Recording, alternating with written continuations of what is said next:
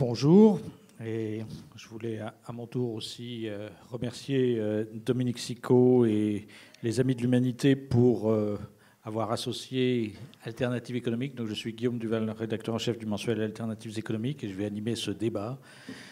D'avoir associé Alternative économique à, à, ce débat sur un sujet qui est au cœur de nos préoccupations, mais aussi des préoccupations des citoyens, donc sur l'avenir du travail Est-ce qu'on va tous être euh, ubérisés Est-ce que le revenu universel est la solution aux problèmes que nous rencontrons Est-ce qu'on va tous être condamnés à travailler euh, gratuitement Et tout ce genre de questions.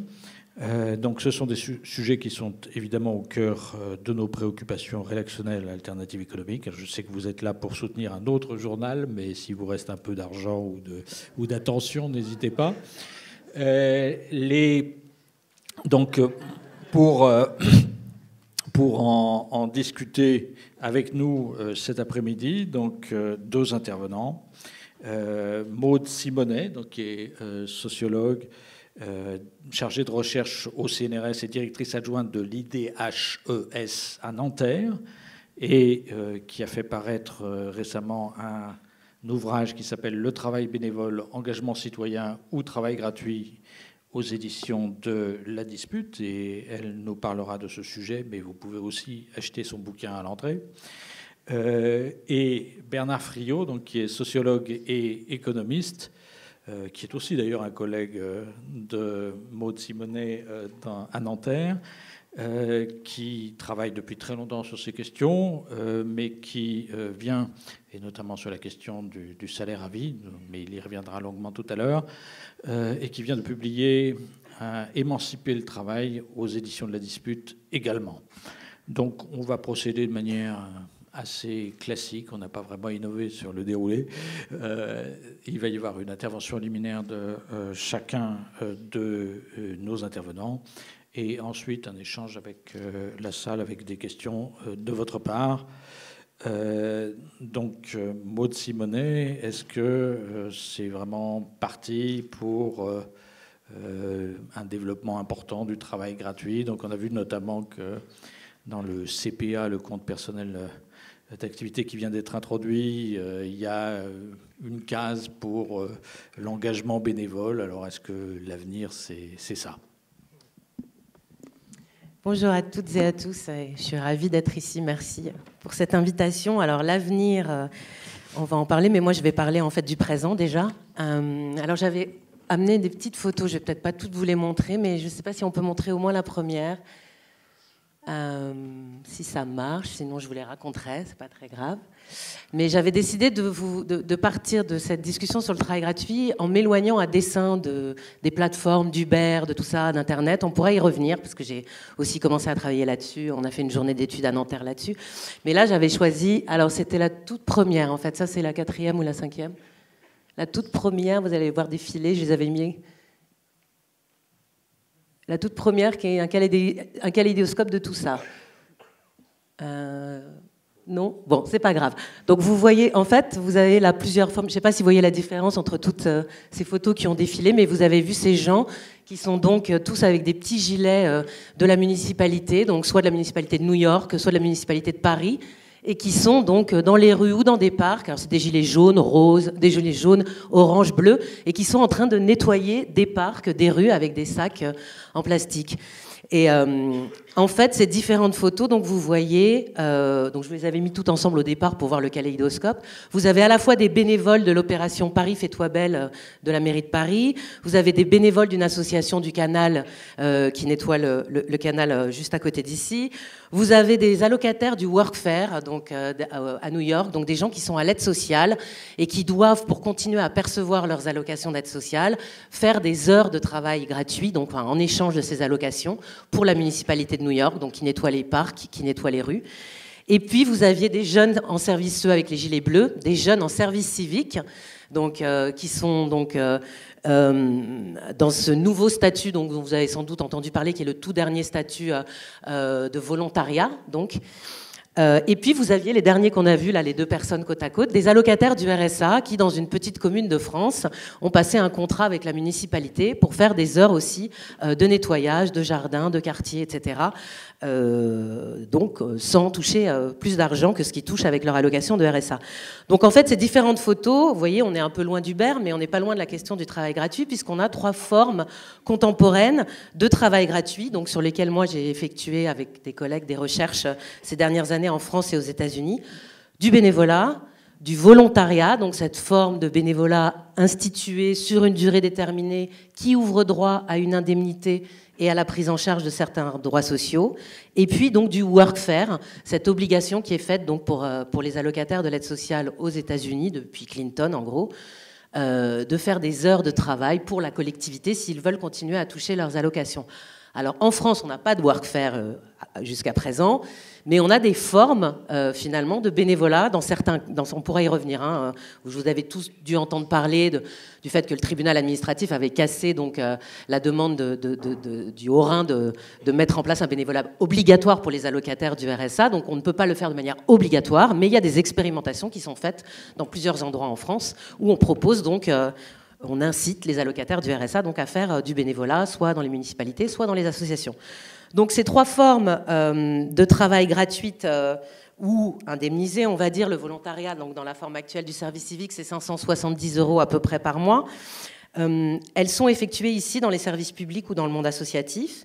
C'est donc des formes de travail gratuites ou semi-gratuites, mais surtout, et je vais y revenir, c'est des formes qui sont invisibles, elles sont gratuites, mais elles sont surtout invisibles comme travail. Et là, je reprends à dessein la terminologie euh, des féministes hein, qu'elles avaient utilisée finalement pour, euh, pour faire regarder, faire voir euh, scientifiquement et politiquement les activités domestiques comme du travail, en disant c'est du travail invisible. Je vous rappelle cette phrase de, de Daniel Kergoat, qui disait à propos de la révolution féministe, il devient alors collectivement évident qu'une énorme masse de travail est effectuée gratuitement par les femmes, que ce travail est invisible, qu'il est réalisé non pour soi mais pour d'autres, et toujours au nom de l'amour, de la nature ou du devoir maternel. Les formes de travail gratuit dont je vous parle moi aujourd'hui et qui m'ont intéressé depuis presque 20 ans maintenant, c'est pas au nom de l'amour ou de la nature qu'elles sont invisibilisées, c'est au nom de l'engagement ou de la citoyenneté. Voilà.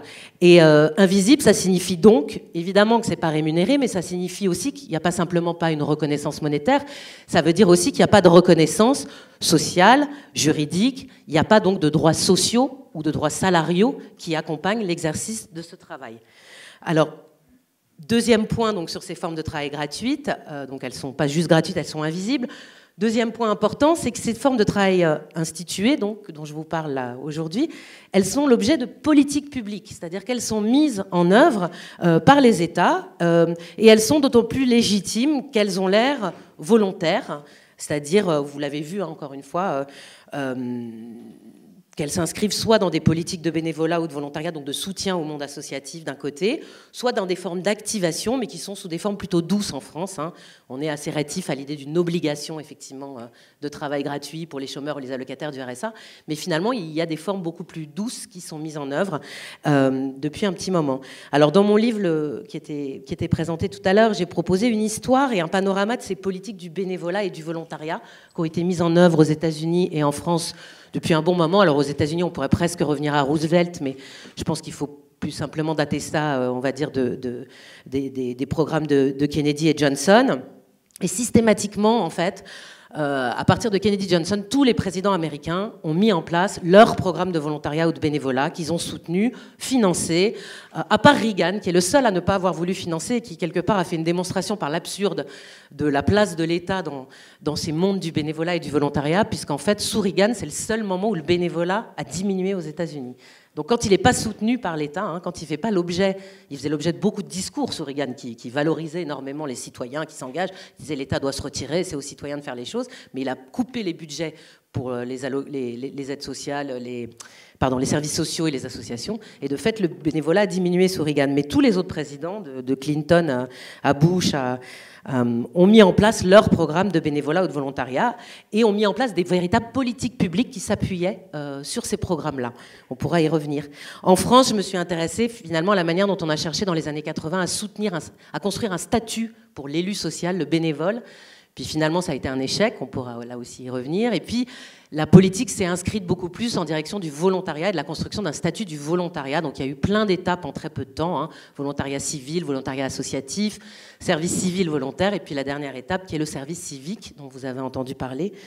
Le service civique qui, euh, et c'est un point très important, est passé récemment à un, développement... Euh, enfin une étape nouvelle, puisque euh, jusqu'à présent, il était à 80% effectué dans les associations. Et là, avec l'idée de le généraliser à, toute une classe d'âge, de faire en sorte que tous les jeunes, à un moment donné, fassent un service civique, sans que ce soit euh, obligatoire hein, pour le moment, mais que ça devienne finalement une norme, une évidence, et de passer donc l'objectif à 350 000 jeunes en service civique en 2008, en 2018, pardon. Euh, eh bien, il y a eu cette idée que le monde associatif ne serait pas suffisant pour absorber et développer des missions pour les jeunes en service civique, et qu'il fallait donc l'étendre au service public. Donc ces dernières années, vous avez Pôle Emploi, euh, euh, les hôpitaux, enfin la PHP, l'éducation nationale, le ministère Jeunesse et Sport, etc. Tous ces, services publics ont signé des conventions avec l'agence du service civique, qui s'appelle maintenant le Haut Commissariat à l'engagement, des conventions pour développer donc des formes de services publics, dans, de services civiques dans les services publics. Donc, par exemple, à Pôle emploi, vous avez vu les, services civiques arriver dans les agences, donc avec euh, les, gilets bleus, euh, et, être inscrits véritablement dans le programme de numérisation euh, de Pôle emploi, c'est-à-dire qu'on maintenant, on considère qu'à l'entrée, enfin à l'intérieur des agences, devant les bornes numériques où doivent s'inscrire ou faire leurs opérations les, demandeurs d'emploi, on va trouver des services civiques qui vont les aider à, faire ces opérations numériques. Ça a soulevé des débats, on pourrait y revenir. Hein. la CGT Pôle Emploi s'est mobilisée là-dessus. À la, PHP, donc, vous avez aussi des volontaires en service civique qui ont été engagés par la PHP, donc à, l'accueil. Vous en avez une proposition de 37 000 entre la rentrée 2015 et la rentrée 2017 par l'éducation nationale, avec l'idée de les envoyer euh, aussi bien dans les associations partenaires de l'éducation nationale que dans les collèges, les écoles et les lycées. La mission, par exemple, dans les écoles qui a le plus, euh, qui a le plus attiré, de, enfin, qui a le plus mobilisé de services civiques, euh, c'est une mission en fait un peu périphérique où la plupart des tâches qu'ils font sont de venir en soutien aux enseignants, aux éducateurs, enfin, aux animateurs, pardon. Et on peut y voir un effet notamment de la réforme des rythmes scolaires euh, qui a accentué euh, la pression sur ces deux catégories de travailleurs dans les écoles. Donc euh, voilà, tout ça pour dire que ça fait l'objet de véritables politiques publiques, que du travail, donc pour en revenir sur la thématique de la raréfaction du travail dont on entend quand même pas mal parler en ce moment, euh, là on n'est pas du tout euh, dans l'idée d'une raréfaction du travail. Du travail il y en a, il y en a plein qui se développent, qui est mis en place, sauf qu'il n'est pas transformé en emploi. Il n'est même pas reconnu comme du travail, puisque là tout ce dont je vous parle depuis tout à l'heure, ça n'appartient pas au code du travail, ça n'est pas nommé comme du travail, c'est de l'engagement, de la citoyenneté, donc ça échappe évidemment au droit du travail, euh, à la syndicalisation, à la participation aux élections professionnelles, euh, au prud'homme, etc. Et j'en passe. Donc, euh, pour reprendre le titre de, l'ouvrage de Claude Didry, qui est dehors aussi, qui est un collègue à nous, ça n'est pas on n'est pas dans l'institution du travail, ça n'est pas institué comme du travail, ni individuellement, ni collectivement. Euh, un dernier point, donc un gratuit, c'est aussi invisible, c'est aussi, euh, euh, le fruit de politique publique. Dernier point, ce sont aussi ces formes de travail gratuit. Elles mettent en évidence des usages de classe. On pourrait presque dire même que ce sont des politiques de classe, en un sens, au sens où en tout cas les usages sociaux qui sont faits de, de ces formes de travail gratuit sont pas du tout les mêmes, et que ça a tendance à renforcer en fait les rapports sociaux, à les accentuer. Euh, le bénévolat, l'expérience du bénévolat des allocataires du RSA, vous imaginez qu'elle est significativement différente de l'expérience du bénévole euh, de passerelle et compétences, qui est un cadre supérieur qu'on vient chercher dans son entreprise en lui disant tiens, pendant six mois, vous allez faire une mission bénévole en utilisant vos compétences professionnelles pour les mobiliser pour une association qui a besoin de refaire euh, son plan DRH, son site web ou des choses comme ça. Dans un cas, vous avez quelqu'un qui finalement est dans une expérience de sacrifice, au sens où finalement, il, pour, au nom de la dignité hein, du travailleur, il va travailler gratuitement en espérant déboucher euh, sur un emploi. De l'autre côté, vous avez quelqu'un qui est en emploi et qui va obtenir du plus, j'ai envie de dire, c'est-à-dire du plus en termes de capital symbolique, de capital social, euh, pourquoi pas euh, de, de, transformation de la carrière professionnelle. Donc on a des usages quand même qui sont pas les mêmes, et même quand on a un objectif de mixité sociale, comme c'était le cas par exemple avec les politiques de volontariat et notamment le service civique, hein, l'idée c'était de mélanger différentes jeunesses. L'enquête que j'ai pu faire et d'autres enquêtes par la suite sur, euh, sur ces formes de volontariat tendent à montrer que l'expérience du volontariat n'est pas du tout la même en fonction euh, des différentes jeunesses qu'on cherche à mélanger là-dedans. Moi, j'avais utilisé une expression un peu choc en disant euh, super bénévolat pour les enfants des classes moyennes et des classes supérieures. C'est plutôt une expérience de sous-emploi pour les enfants des classes populaires. Et on le voyait très bien, non pas en demandant aux jeunes pourquoi vous êtes là, parce qu'en fait, ils sont tous là pour des raisons assez proches, mais en comprenant comment ils y sont arrivés. Et vous aviez d'un côté ceux qu'on avait été chercher à l'université, etc., et qui étaient prêts à faire une pause pour éventuellement s'engager et réfléchir à une réorientation professionnelle, pourquoi pas. Et puis de l'autre côté, ceux qui étaient arrivés à la mission locale ou euh, devant leur éducateur spécialisé et qui leur avait dit, bah écoute, et qui avait dit, moi j'aimerais bien travailler au sens de trouver un emploi dans l'humanitaire ou dans l'associatif, et on leur avait dit, bah tiens, pour le moment, va faire du volontariat, euh, ça te permettra de te faire des contacts, de rencontrer des gens, etc. Et ce, rapport social dans les usages, on le trouve aussi très fortement ancré quand on les écoute parler euh, de leur expérience, et notamment par exemple de l'allocation, hein, qui est donc une indemnité, hein, on a bien précisé dans, le, dans les textes juridiques qu'il n'y a pas de subordination, donc ce n'est pas une rémunération, c'est une indemnité. Sauf que les jeunes des classes, euh, des classes moyennes ou supérieures, qui souvent soit vivent chez leurs parents, soit ont leurs parents qui leur financent un logement, ils parlent de ça comme de l'argent de poche. Euh, les jeunes des classes populaires, quand vous les interrogez, ceux notamment qui vivent en foyer, etc., ou qui ne sont pas soutenus par leur famille, quand ils parlent des 500 et quelques euros, ils vous disent la paye, euh, parce que euh, même si on a bien inscrit dans le droit que ça n'était pas une rémunération du travail, eux, ils vivent bien avec ça comme subjectivement et objectivement, ça, fait office de paye. donc voilà, donc ça c'était un peu les points sur lesquels je voulais insister. Et du coup, c'est quoi les deux grosses questions par rapport à ces politiques du, travail gratuit qui, me semblent se poser aujourd'hui? Bah, Premièrement, la question de la gratuitisation du travail, hein, c'est pas un joli mot, mais quand même, et notamment la gratuitisation du travail pour l'employeur, l'employeur associatif, mais aussi l'employeur public derrière, avec des jeux d'échelle d'ailleurs, hein, avec l'employeur public qui utilise aussi l'employeur associatif. Donc cette question de la gratuitisation du travail et donc de la substitution total ou partiel par rapport à l'emploi public que ça peut poser. Alors évidemment, un bénévole va jamais remplacer un fonctionnaire, c'est beaucoup plus compliqué, mais c'est pour ça que les questions de substitution, il y a eu des travaux qu'on portait là-dessus, notamment sur le workfare, je pourrais y revenir. Ça demande des méthodologies un peu complexes à mettre en œuvre, mais c'est un véritable enjeu, à mon avis, des recherches futures. L'autre enjeu que ça pose, évidemment, c'est la question euh, quel collectif de travail on construit euh, avec euh, ces travailleurs qui ne sont pas reconnus comme des travailleurs, avec ces travailleurs qui ne sont pas reconnus comme des travailleurs, mélangés à d'autres travailleurs reconnus comme des travailleurs. Pendant 7-8 ans, j'ai travaillé avec un, collègue américain, John Krinsky. On a fait une grosse enquête à New York qui s'appelle Who Cleans the Park, donc qui nettoie le parc, en montrant comment euh, aujourd'hui dans, ce petit service public municipal que sont les parcs de la ville de New York, on a dans le même parc, des employés municipaux, donc payés, protégés, puisqu'ils se sont battus dans les, années 50 pour obtenir le droit syndical, ce qui veut dire aux États-Unis le droit d'avoir une négociation collective de leurs conditions de travail, un contrat collectif. Donc ils sont, ils sont à la fois payés, mais publics et protégés. À côté d'eux, vous avez des salariés associatifs qui sont donc rémunérés, qui font le même travail eux, mais qui n'ont pas le droit syndical, donc qui n'ont pas du tout les mêmes droits sociaux ou salariaux. Et puis encore à côté, vous avez des allocataires de l'aide sociale par milliers, euh, qui eux, pour le coup, ne sont pas du tout payés, donc font euh, une partie des tâches, pas toutes les mêmes tâches, mais une partie des tâches aussi de nettoyage des parcs contre euh, rien du, enfin contre le maintien de leur allocation, on va dire. Et puis, vous avez des bénévoles aussi par milliers qui sont en partie mobilisés par la municipalité et par une grande fondation qui met de l'argent pour développer le bénévolat dans les parcs de la ville à New York. Quand je vous rajoute à tous ces statuts-là euh, les rapports de classe et les rapports de genre, vous allez voir que c'est très compliqué. Hein. Les, employés municipaux sont à 70% des hommes, euh, donc protégés. Les salariés associatifs à un tout petit peu moins, mais c'est assez proche.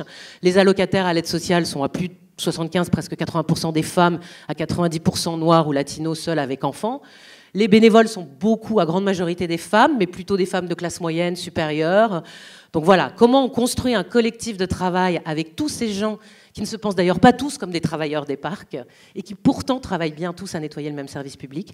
C'est un enjeu, à mon avis, très fort. Mais finalement, j'ai fait récemment une enquête avec euh, Francis Lebon, un, collègue de l'Université de Créteil, sur les effets de la réforme des rythmes scolaires dans les écoles aujourd'hui et l'arrivée de nouveaux acteurs, pour certains non payés aussi, euh, des bénévoles, des services civiques dans les écoles euh, publiques françaises. Et il y a des enjeux aussi qui sont assez proches en termes de démultiplication des statuts je sens que je vais. Il faut que je conclue. Je voulais juste, une fois que j'ai posé ces constats, donc euh, dire du coup qu'est-ce qu'on peut en dire par rapport à la question qui est posée aujourd'hui? Alors moi, je suis pas une spécialiste forcément de, j'ai pas forcément la, réponse à vous donner. Moi, je veux plutôt présenter des enquêtes et, répondre à vos questions sur ces enquêtes-là. Mais quand même, évidemment, on peut pas ne pas penser. Euh, du coup, une fois qu'on a fait ce constat, qu'est-ce qu'on a envie de proposer pour la suite Comment on peut sortir de ça euh, une première voie, évidemment, hein, c'est de dire bah, il faut revisibiliser le travail invisible, c'est-à-dire il faut construire comme emploi, peut-être que c'est une des premières possibilités, réinscrire dans l'emploi avec la reconnaissance donc de la rémunération, des droits sociaux, euh, etc. Euh, ces activités-là, c'est notamment, par exemple, la, proposition de, solidaire par rapport au service civique. Hein. il y a une partie de solidaire qui s'est mobilisée sur les enjeux du service civique aujourd'hui et qui dit bah, si c'est si important l'engagement des jeunes dans le service civique, et eh ben, pourquoi pas les rémunérer sérieusement, pourquoi pas leur donner vraiment des droits sociaux euh, autour de ça? Donc c'est une possibilité, la, revisibilisation. La requalification, moi j'ai suivi les procès en requalification de travail bénévole ou des choses comme ça, donc c'est un enjeu fort. Euh, est-ce que ça va suffire? Alors voilà, j'ai un petit doute euh, pour deux raisons. D'abord parce que la forme emploi comme support des droits et de la reconnaissance du travail, à la fois individuelle et collective, euh, si elle a été très importante historiquement, elle a été quand même sacrément malmenée euh, ces dernières années, on le sait tous, euh, avec cette espèce de logique de, l'emploi à tout prix, du chantage à l'emploi, de l'employabilité qui, conduit justement à ce qui est ces formes de travail gratuites aussi. Hein. Je crois que voilà, moi je suis toujours très très surprise de la dénonciation de l'assistanat quand on voit en réalité le nombre de personnes qui travaillent gratuitement. Donc voilà, je crois qu'il faut aussi regarder ça. mais du coup, est-ce que requalifier finalement ces différentes activités-là, euh, ça permet d'être sûr qu'on ne va pas en inventer d'autres? Voilà, moi j'ai du mal à croire que finalement, euh, on, va pas, il n'y en a pas d'autres qui vont être euh, inventées aussi rapidement, même si on en fait tomber certaines juridiquement, hein, autour du service civique ou d'autres choses comme ça. Et puis la deuxième question, c'est est-ce qu'il faut souhaiter que toutes les activités, toutes les formes de travail euh, fasse l'objet d'une rémunération C'est une énorme question. C'est loin d'avoir mis d'accord les féministes sur la question du travail domestique. Est-ce qu'il faut rémunérer le travail domestique? Est-ce que c'est comme ça qu'on va finalement sortir de l'assignation du travail domestique aux femmes, qui est quand même l'enjeu? C'est pas évident. Donc euh, voilà, c'est des grosses questions. Est-ce qu'il faut souhaiter une société où tout le travail serait rémunéré? Je suis pas sûre non plus. Donc voilà, ça c'est la euh, première question. Deuxième voie, c'est celle dont on discutera, le revenu universel. Alors il a le mérite de proposer qu'on sorte finalement de la manière dont fonctionne le marché du travail aujourd'hui, de déconnecter le revenu et le travail et d'attaquer finalement, en tout cas dans sa version de gauche, les discours anti-assistana, etc. Donc ça attaque un peu plus, peut-être assez frontalement cette question, mais ça attaque la question de l'emploi finalement, et peut-être pas suffisamment à mon sens la question du travail. Euh, finalement, est-ce que déconnecter les ressources et le travail dans le cadre du revenu universel, est-ce qu'on est sûr que ça nous protégerait d'un développement à nouveau des formes de travail gratuit. J'en suis pas du tout sûre, mais pas du tout certaine.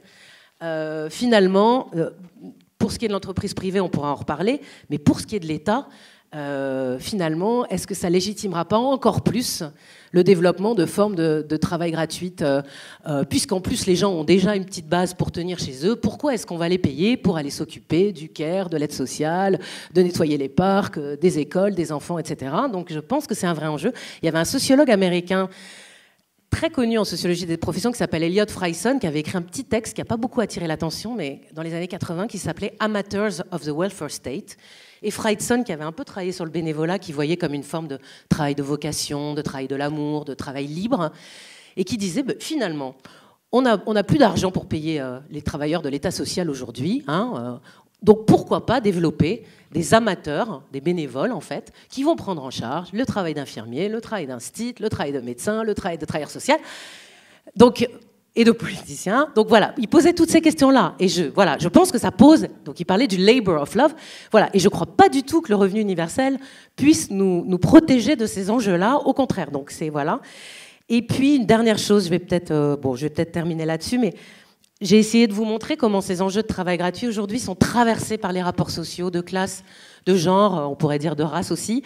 Euh, et du coup, je pense que le, le fait qu'on ne pense, qu'on pense simplement travail égal emploi, et puis tout ce qui est en dehors, euh, les activités hors emploi, finalement, c'est pas du travail. On, oublie d'aller regarder qu'à l'intérieur de ces activités-là aussi, il y a des rapports sociaux, il y a des rapports de domination, et que je, m'excuse, mais finalement, le travail domestique, les femmes, depuis qu'elles sont rémunérées sur le marché du travail, c'est pas pour autant que ça les a libérées de l'assignation du travail domestique à la maison. Donc, c'est pas parce qu'on a une rémunération par ailleurs que les activités qui ne sont pas rémunérées sont exemptes de, rapports sociaux.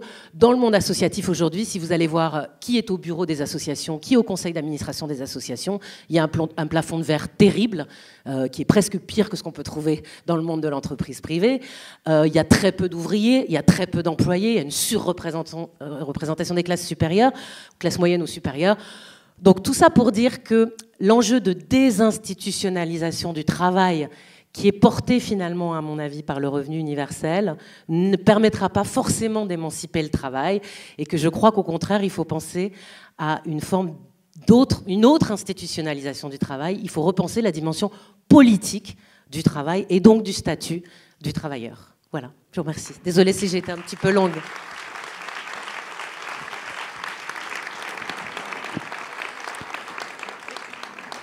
Merci. Donc, on a beaucoup de chômage et pas assez d'emplois, mais enfin, il y a une forme de travail qui se développe beaucoup, c'est celle qui n'est pas payée. Euh, et ça fait même l'objet de politiques euh, publiques euh, assez actives dans la plupart des, pays développés et, chez nous maintenant avec le service civique, etc. comment on peut en sortir? On peut essayer de requalifier ces boulots, mais c'est pas sûr que ce soit vraiment la solution finale. on peut essayer d'inventer des statuts meilleurs pour ces, ces, emplois. Il y a aussi la question du revenu universel sur lequel on va revenir, mais pas sûr que ça nous protège de la prolifération de ce type euh, de choses et que ça, en particulier sur la question de la substitution. Et enfin, dans tous ces domaines, même si ça se ressemble, il y a des inégalités, des formes de domination qui perdurent. Alors, euh, Bernard Friot, je pense que euh, ça va s'enchaîner assez bien, puisque dans le contexte où on est, ça fait 40 ans qu'on n'a pas qu'on pas rétabli euh, le plein emploi Est-ce que finalement tout ce qu'on raconte aujourd'hui autour du revenu universel, c'est pas euh, la solution et le moyen d'en sortir? Eh Bien, euh, je pense que le, critère pour, on a un peu perdu tous hein, autour de cette question du, du revenu universel. le critère pour juger des propositions, c'est la question de la, responsabilité sur la production de valeur économique. Euh, par production de valeur économique, il faut entendre la part de l'activité qui est reconnue comme travail. Hein. Si, je sais pas quoi, des parents conduisent leur gamin à l'école, c'est une activité qui, qui, a une utilité sociale, mais ce n'est pas reconnu comme du travail, ça ne produit pas de valeur économique. Si une assistante maternelle conduit des gamins à l'école, c'est la même activité, mais elle est reconnue comme travail, parce que euh, l'emploi dans lequel s'inscrit cette activité va permettre de la qualifier comme travail, c'est-à-dire comme production de valeur. Lorsqu'on examine des propositions sur les revenus, sur les ressources, la question à se poser, c'est qu'est-ce qu'elles nous disent sur la responsabilité dans la définition de ce qui est travail? Qui décide de ce qui a valeur? Dans le capitalisme, décident de ce qui a valeur les propriétaires de l'outil de travail. C'est eux qui vont ensuite, euh, dans un, rapport social d'une très grande violence d'ailleurs, hein, décider qui va voir son activité transformée en travail, et puis qui demain, ça c'est par une embauche, et puis qui demain, par un licenciement, verra son activité retourner à la sphère de l'activité, ne plus être reconnue comme productive de valeur et donc ne plus être reconnue euh, par de la monnaie. Cette euh, violence sociale du marché du travail, hein, dans lequel un propriétaire de l'outil ou son représentant décide de qui va travailler et qui ne va pas travailler, et puis décide de ce qu'il va faire comme travail. Donc toute la souveraineté sur la valeur économique, c'est le fait des seuls propriétaires de l'outil de travail cette violence sociale a entraîné une très forte mobilisation des travailleurs organisés. Et ces travailleurs organisés n'ont pas été vaincus. Il faut insister sur les victoires de la classe ouvrière et des victoires qui demeurent. Et la victoire de la classe ouvrière s'est inscrite dans ce qu'on appelle l'emploi. L'emploi, c'est une conquête contre le capital. Le capital, il parle de poste de travail. Contre cela, tout le mouvement syndical s'est organisé pour enrichir le poste de travail de trois droits qui en ont fait un emploi. Premièrement, le salaire à la qualification. Il y a une mobilisation considérable dans les années 50-60 autour de la convention collective qui décide de la qualification des postes et qui pose donc les salariés comme non pas comme des êtres de besoin qui ont droit du pouvoir d'achat, ça c'est l'anthropologie du mépris que développe le capital à l'endroit des travailleurs, des mineurs économiques qui ont droit du pouvoir d'achat. Non, qui pose des travailleurs comme contribuant à la production de valeur économique et qui du coup rend légitime leur revendication de décider de la valeur économique et de sa production. Le salaire à la qualification, qui a toujours été refusé euh, par le capital, par la bourgeoisie. Deuxième dimension conquise euh, dans un affrontement permanent, la cotisation au régime général. La cotisation au régime général euh, vient bousculer la pratique capitalistes de sécurité sociale, qui sont des régimes d'entreprise, des, régimes de branches, euh, des régimes gérés par des compagnies d'assurance, des régimes...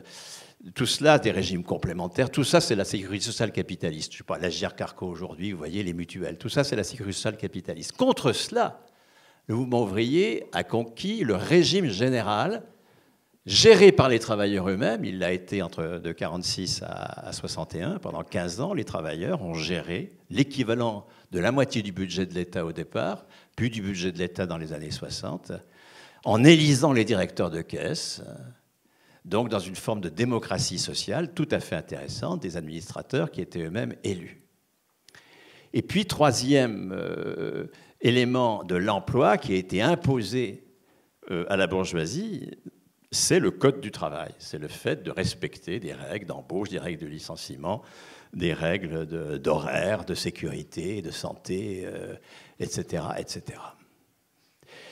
L'emploi a toujours été combattu par la bourgeoisie. Toujours.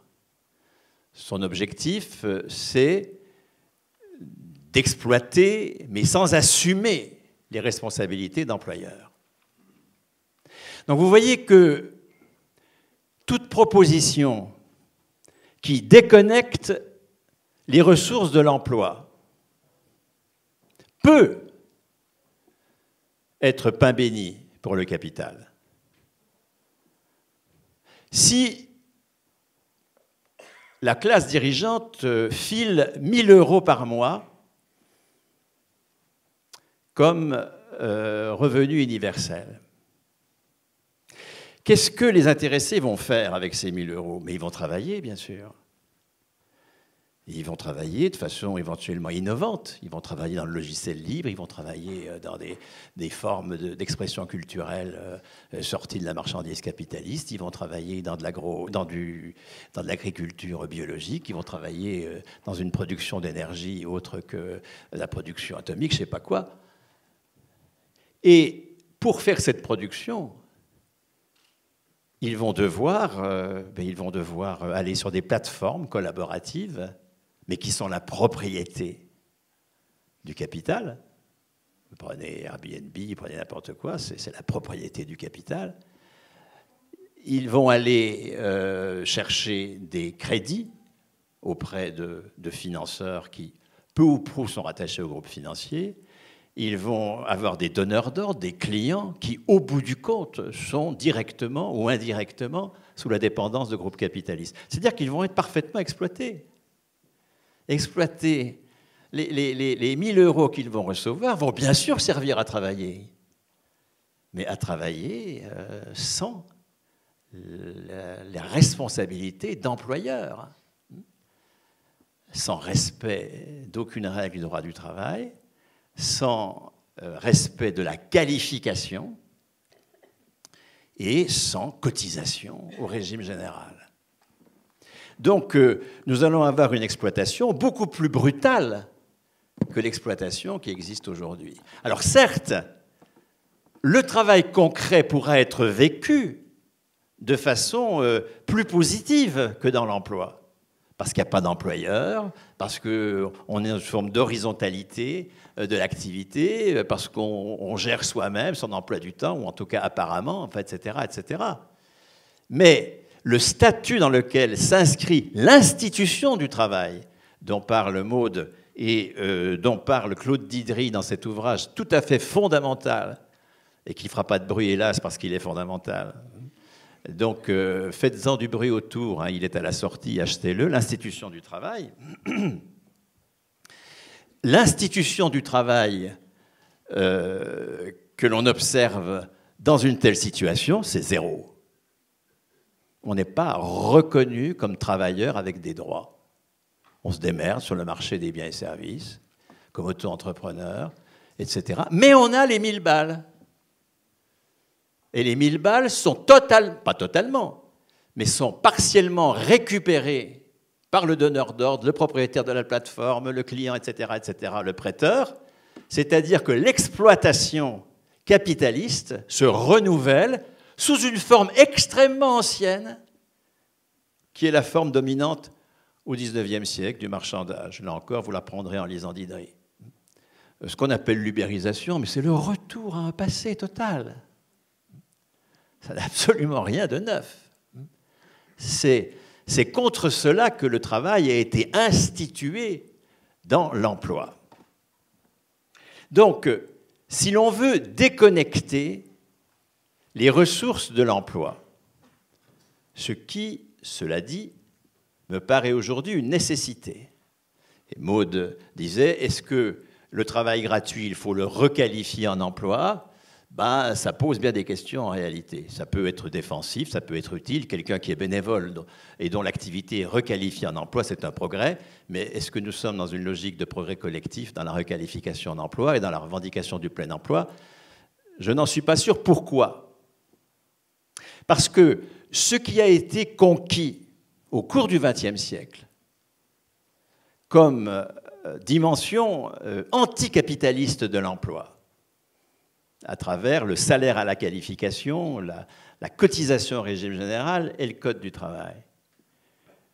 Euh, aujourd'hui, ne peut plus faire l'objet que de batailles défensives. Pourquoi? Parce que la globalisation financière du capital fait que il n'a plus besoin de concéder un meilleur partage de la valeur pour pouvoir s'implanter quelque part. Au contraire, il met en compétition les travailleurs sur l'ensemble de la planète. Et c'est lui qui aujourd'hui va invoquer la défense de l'emploi par un retournement euh, sémantique pour détruire tous les droits qui constituent l'emploi tel qu'il a été construit euh, par l'action syndicale. La proposition plus ou moins keynésienne, que l'on trouve en majorité chez les économistes atterrés, euh, dans le Conseil scientifique d'attaque, à la Fondation Copernic, etc., d'une bonne fiscalité, d'une relance par l'activité, d'un bon crédit euh, qui va euh, encourager les investissements écologiques et d'un plein emploi cette proposition est totalement désuète. Je crois que maintenant, il faut clairement y renoncer. La déconnexion entre le droit au salaire et l'emploi, pour qu'elle ne soit pas une exploitation supplémentaire, à partir où on a pris acte que l'on ne peut plus, territoires nationaux par territoires nationaux, et à l'international c'est encore pire évidemment, qu'on ne peut plus imposer au capital un meilleur partage de la valeur au bénéfice du travail, déconnecter le salaire de l'emploi, renoncer au projet de plein emploi et à toute la dimension keynésienne dont il est porteur, ça suppose de se battre pour que nous devenions, nous, souverains sur la valeur économique. C'est pour ça que l'enjeu, encore une fois, de toute réflexion sur la relation entre travail et ressources, c'est qui décide de ce qui a valeur. C'est-à-dire, au bout du compte, qui est propriétaire de l'outil de travail. Donc, nous sommes sur une ligne de crête. Nous ne nous en sortirons pas de ce désengagement de la bourgeoisie qui ne veut plus assumer ses fonctions d'employeur. Nous ne nous en sortirons pas par une revendication de vrai plein emploi. Mais nous ne nous en sortirons pas non plus par une déconnexion entre salaire et emploi qui laisserait, comme je l'ai démontré, je l'espère, une exploitation de tous ces travailleurs euh, dotés de 1000 euros par mois encore plus forte que dans l'emploi. La solution, mais on n'a pas à chercher midi à 14 heures, la solution, c'est celle que nos anciens ont commencé à mettre en place. Hein. La solution, c'est de maîtriser l'investissement par sa subvention et non pas par le crédit, et c'est donc pour sortir du chantage au crédit, qui est consubstantiel au capitalisme, et puis c'est sortir du marché du travail, non pas par le bas de l'infra-emploi tel que l'a décrit Maude, mais par l'au-delà de l'emploi qui a déjà ses anticipations dans la fonction publique, euh, chez la moitié des retraités qui ont une pension proche de leur salaire, bref, qui sont dans du salaire à vie. Le salaire à vie et la subvention de l'investissement euh, pour sa maîtrise populaire euh, dans des entreprises qui deviennent la propriété de leurs salariés, voilà le seul dépassement par le haut de l'emploi. Oui, il faut sortir de l'emploi, mais pas pour pire. Et le pire, c'est le revenu de base.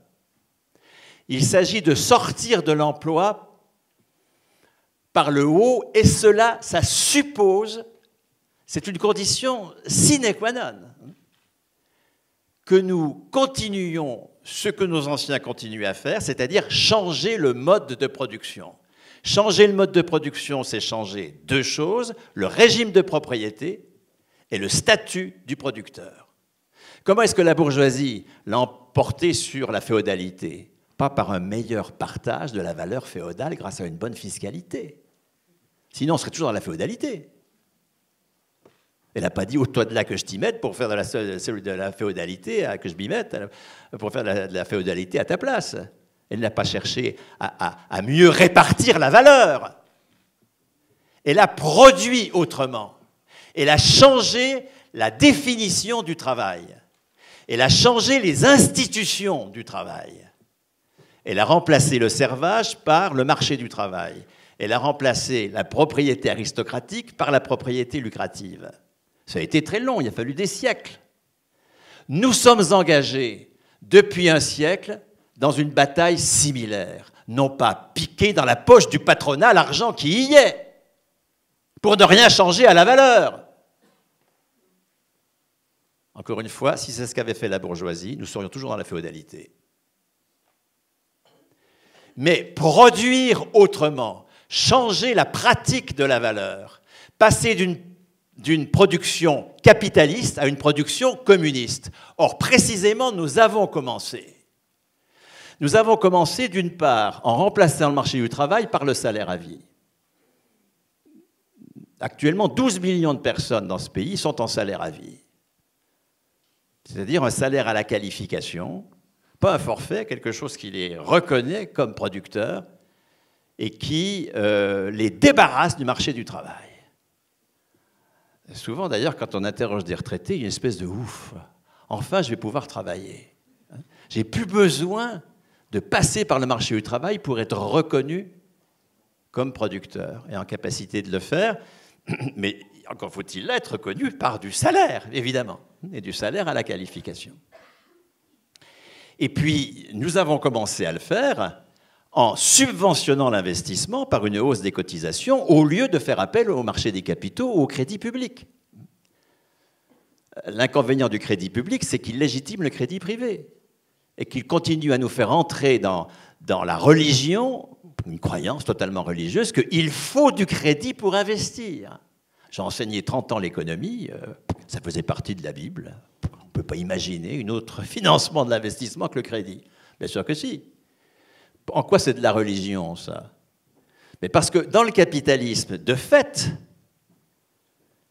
ceux qui financent, ils font du crédit, mais ils font du crédit avec de l'argent qu'ils nous ont volé ou qu'ils vont nous voler.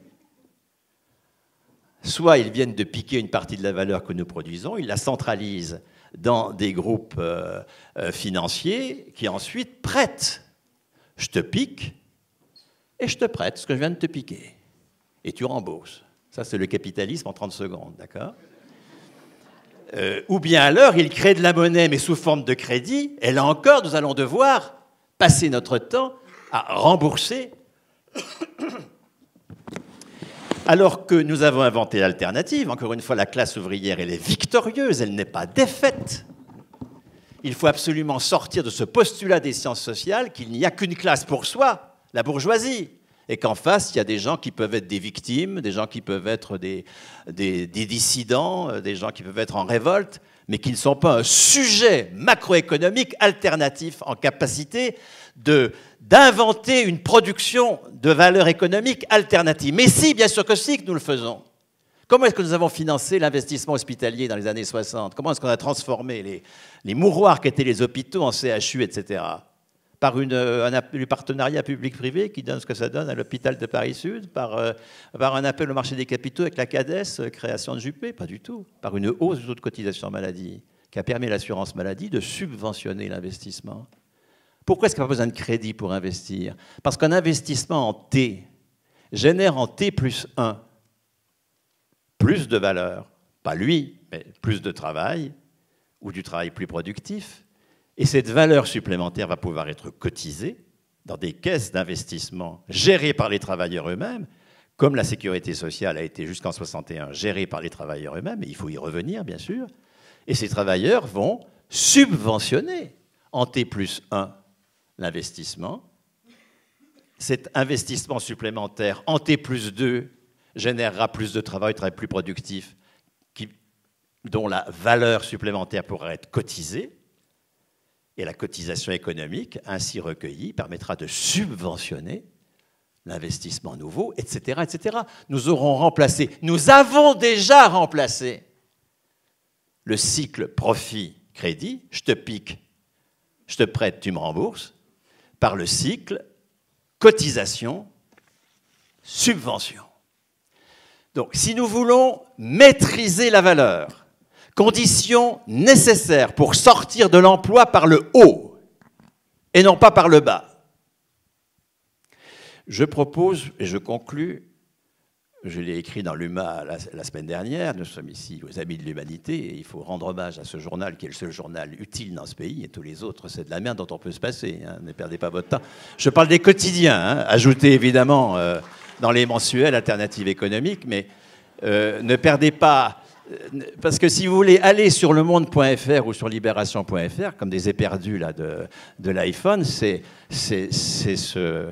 être dans, dans, dans, chercher la drogue hein, de la religion capitaliste. Tout ça ne sert strictement à rien. Il faut s'en débarrasser, au contraire.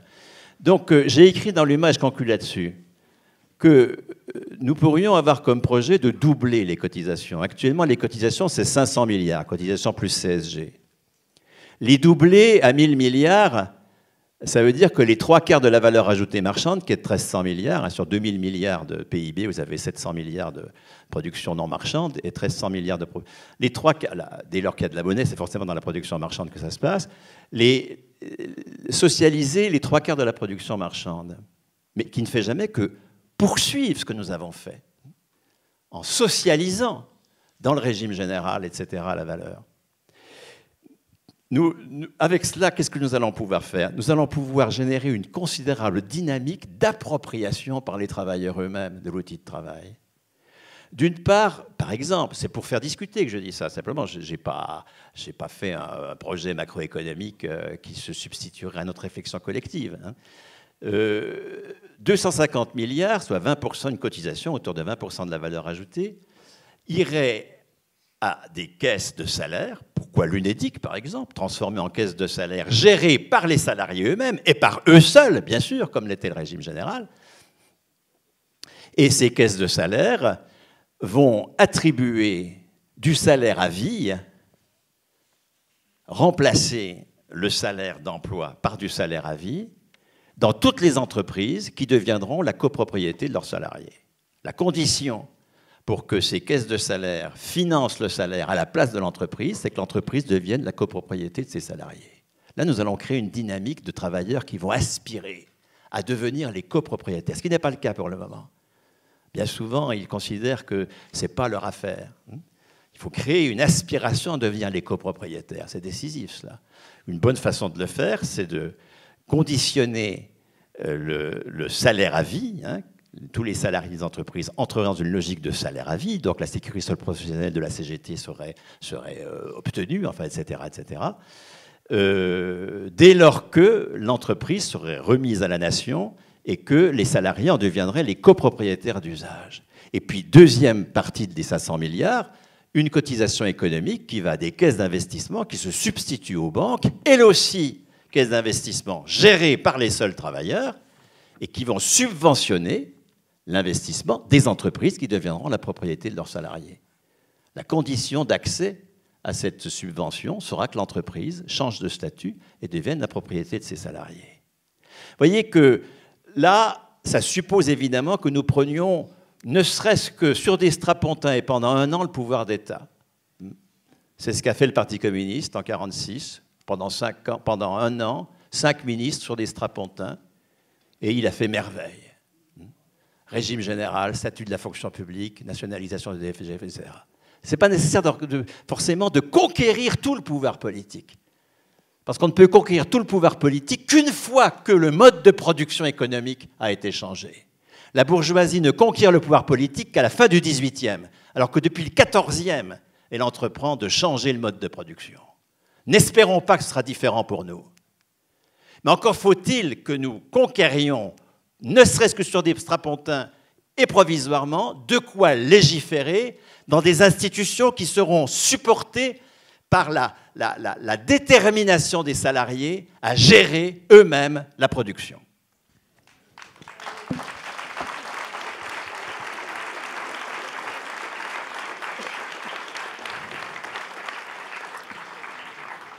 Bien, merci. Donc, on a fait un tour assez vaste. Il nous reste une petite heure pour un échange euh, avec vous. Euh, qu'est-ce qui veut bien oser se lancer euh, pour poser des premières questions ou premières interventions? Alors, allez-y. Il y a quelqu'un qui a déjà un micro, quoi? Il y a madame là-bas au milieu. Alors, où ça? Au milieu, là. Oui, voilà, moi j'ai à dire, il y a un mot qui a disparu complètement, c'est le mot métier. Je n'ai pas entendu parler du mot métier. Ah Eh bien, ce que c'était que les métiers? Parce qu'on parle d'emploi. Des millions de précaires. La précarité. Quand il y a eu la lutte de France Inter, vous voyez, sur le, à Paris, là, j'y suis allé puis j'ai discuté comme ça. Parce que moi, vous savez, j'ai défendu les métiers.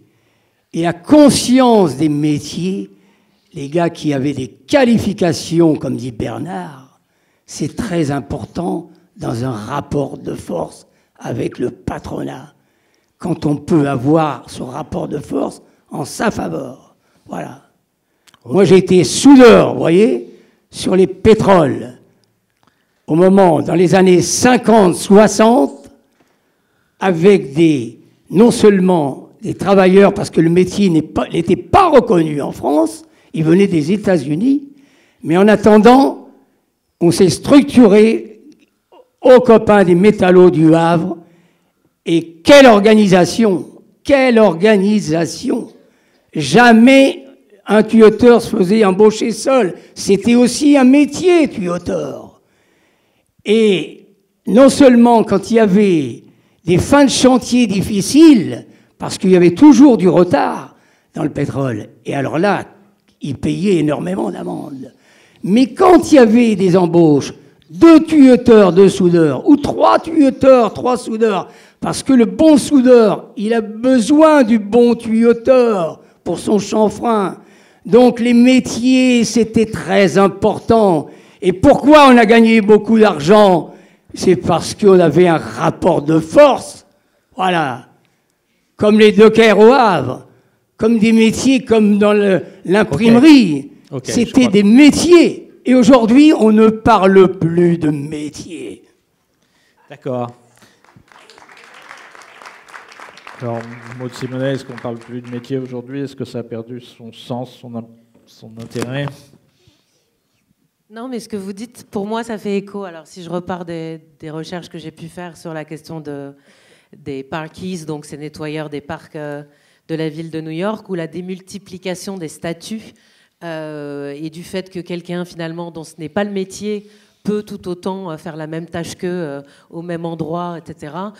C'est un enjeu fort. Alors on va parler peut-être plutôt de déprofessionnalisation, les sociologues en tout cas, on va, on va voir ça sous l'angle de la déprofessionnalisation, mais je pense que c'est un des enjeux qui, qui a été évoqué là avec la multiplication des, statuts de travailleurs dans le même service public, dans la même situation de travail. Il y a un enjeu autour de, euh, de cette question-là. Et du coup, euh, oui, la question du rapport de force que, et de la décollectivisation, on va dire, du travail que ça engendre, évidemment. Donc euh, oui, oui, j'entends bien.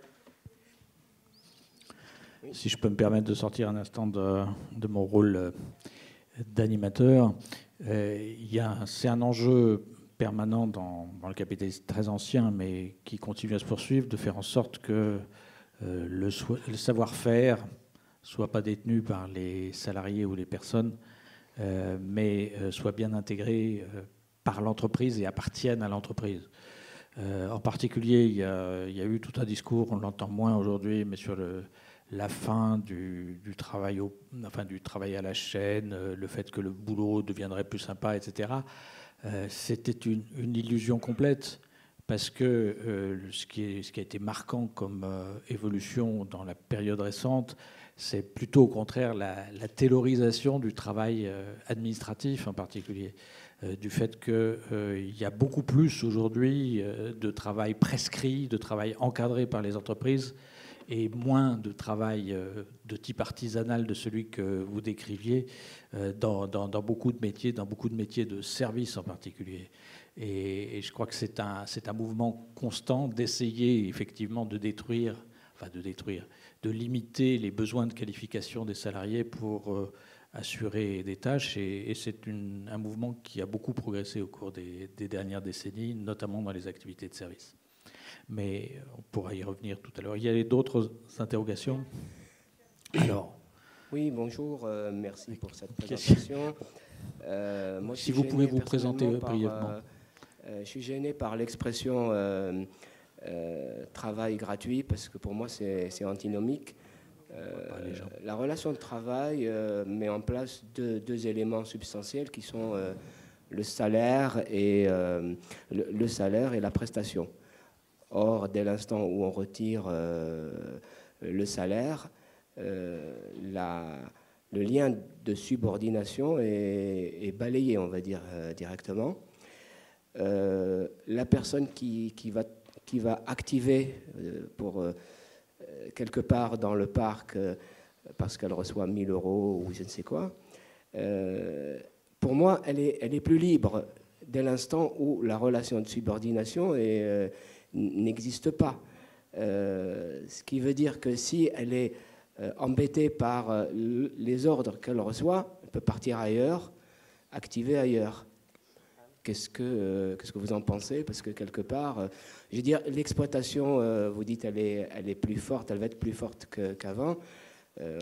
moi, j'y vois plus de liberté. Elle est, il y a une exploitation, on va dire, euh, collective, mais individuellement, euh, la personne est beaucoup plus libre. Ok. Vous voulez réagir tout de suite, Maud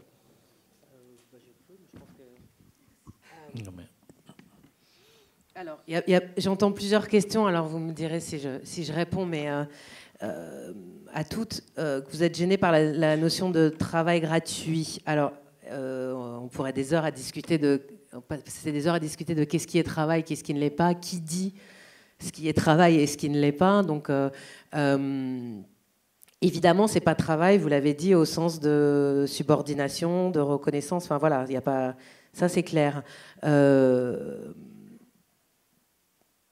pour moi, en reprenant quelques éléments que, Bernard reprenait, enfin, la définition du travail, c'est le produit d'un rapport de force social. Euh, et du coup, on peut s'autoriser aussi à dire, eh ben, moi, je vais regarder ça comme du travail et voir qu'est-ce que ça permet de, voir justement de comment fonctionne un service public, de comment fonctionne une famille, de comment fonctionne euh, une association, etc. Donc c'est aussi une manière de regarder finalement les activités euh, pour faire saillir aussi les rapports sociaux dans lesquels ils sont inscrits. sur la question que vous évoquiez de bah, si elle a de l'argent par ailleurs, elle peut partir. Euh, alors, exploitation, c'est pas forcément le fait de ne pas. Enfin, voilà. Sur la question, elle peut partir. Elle est plus libre de partir. Euh, J'en suis pas complètement convaincue. Encore une fois, je renvoie aux travaux des féministes. Je renverrai à tous les travaux qui ont été faits aussi sur donc les féministes sur le travail domestique. Je renverrai aux travaux qui ont été faits euh, sur le travail bénévole, sur le travail associatif, sur le travail militant. Donc des formes de travail effectivement qui ne sont pas rémunérées, où il n'y a pas de lien de subordination. Euh, et c'est pas pour autant que tout s'y passe bien, que les gens qui n'y sont pas contents euh, partent du jour au lendemain en claquant la porte, etc. Donc je pense que c'est une erreur de croire que ces espaces-là sont des espaces qui sont libérés euh, de plein de rapports sociaux qu'on trouve dans le travail. Donc là, effectivement, j'en suis pas du tout certaine pour avoir fait des tonnes d'entretiens avec des bénévoles qui n'étaient pas du tout heureux dans les structures dans lesquelles ils étaient, qui parfois du coup restent en se mobilisant, en prenant position, en, faisant savoir qu'ils sont pas contents, etc.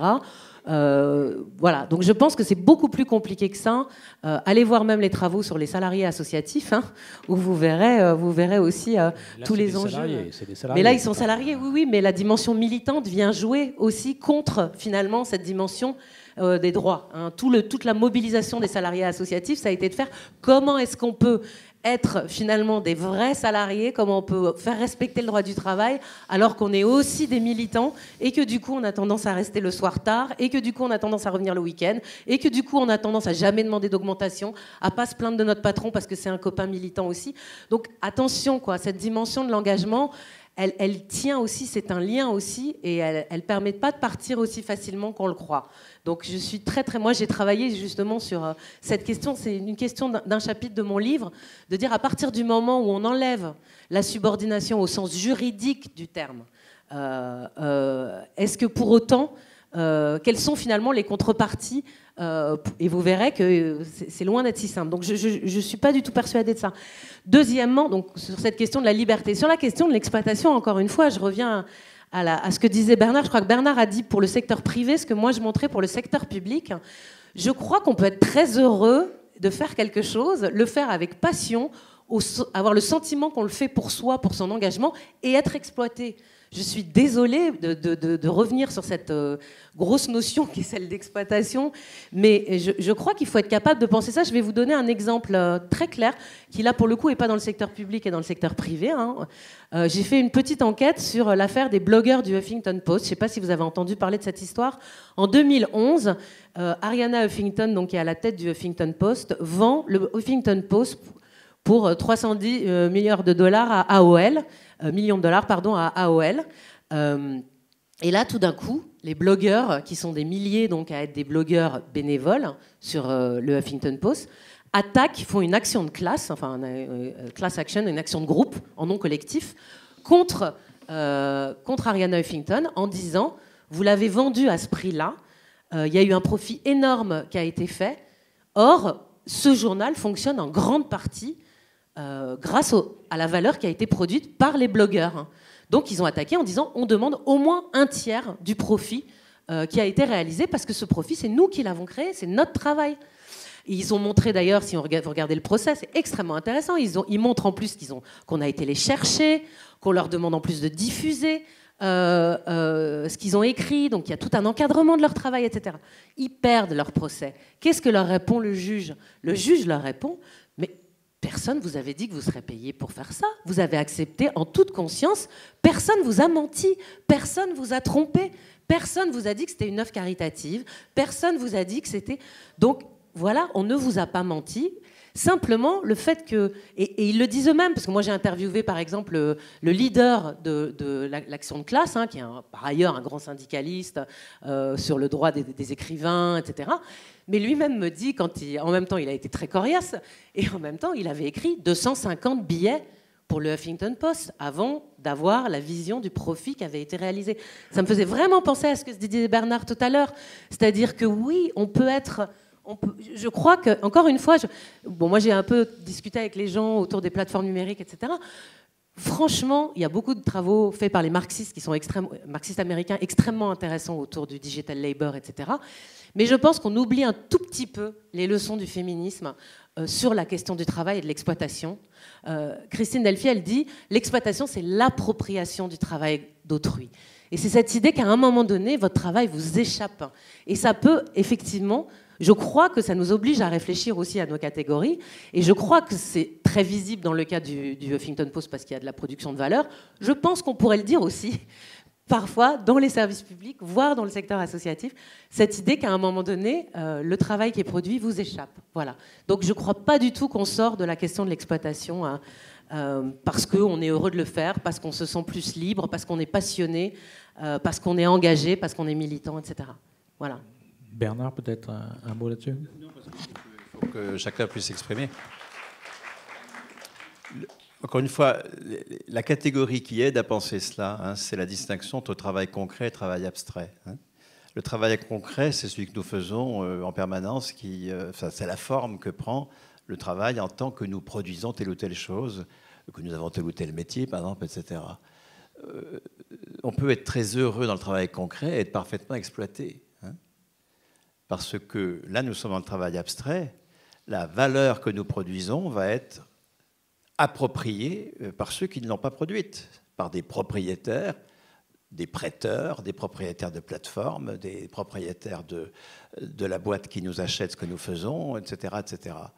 Et tant que nous ne changeons pas le travail abstrait, c'est-à-dire c'est quoi produire de la valeur économique, dans quelles institutions, avec quel statut du travailleur, avec quel régime de propriété.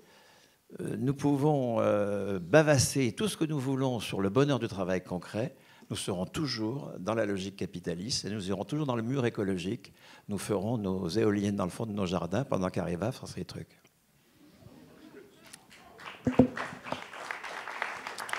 Donc une autre intervention oui. Euh, oui, voilà, moi, c'est... Ah, alors, Janine Cohen, euh, je suis géographe, euh, retraité du CNRS, enfin, Université de Paris 1, et je suis aussi syndicaliste CGT par ailleurs.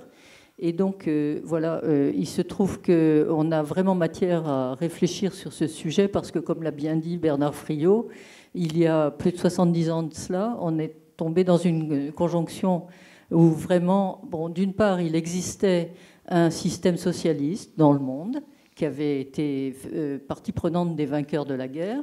D'autre part, euh, sur le terrain, ici en France, les capitalistes avaient failli Et euh, par contre, ce n'était pas du tout le cas des militants bon, engagés, communistes, cégétistes, etc.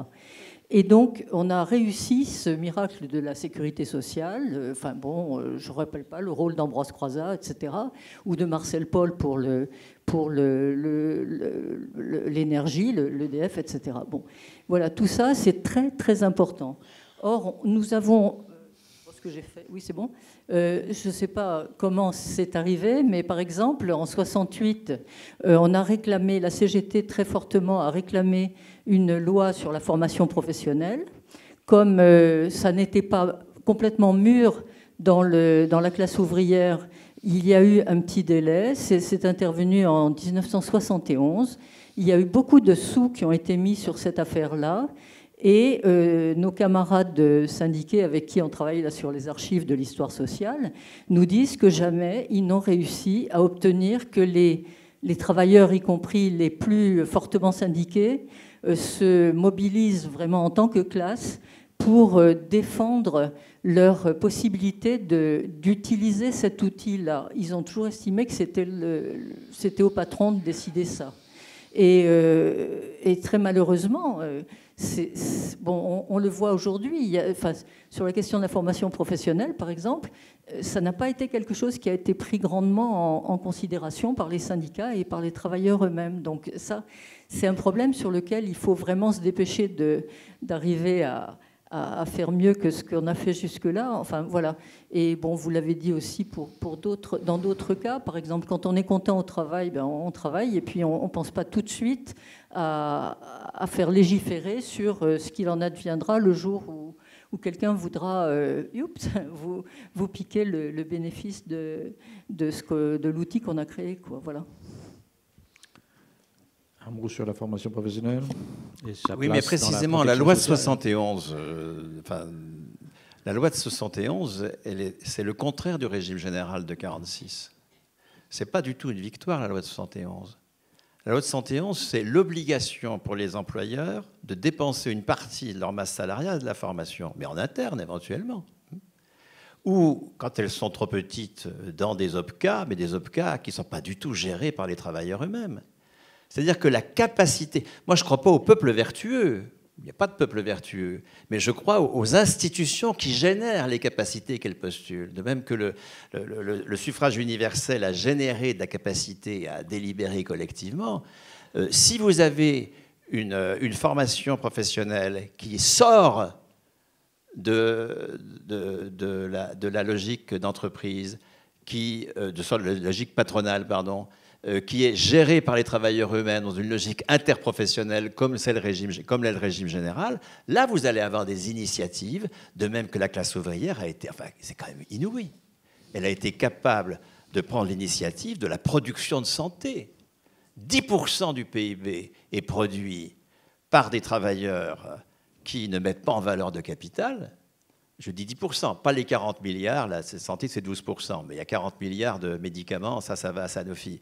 Mais les, 200 autres milliards, pour l'essentiel, c'est des salariés à vie, hein, y compris travailleurs indépendants, c'est quand même très intéressant ça. Hein. Nous avons inventé le travail indépendant avec salaire à vie. C'est les libéraux de santé, comparé à un kiné qui s'installe et puis un architecte qui s'installe. Euh, le kiné, dans le mois, il a sa patientèle. L'architecte, il crève de faim pendant 15 ans, sauf s'il devient grouillot pour, euh, euh, pour Bouygues. Hein. Donc, euh, nous avons inventé le travail indépendant avec salaire à vie, nous avons inventé la fonction publique hospitalière, nous avons sorti la production de santé du marché du travail, et nous avons sorti le financement de l'investissement de l'appel au, marché des capitaux à travers la subvention de l'assurance maladie.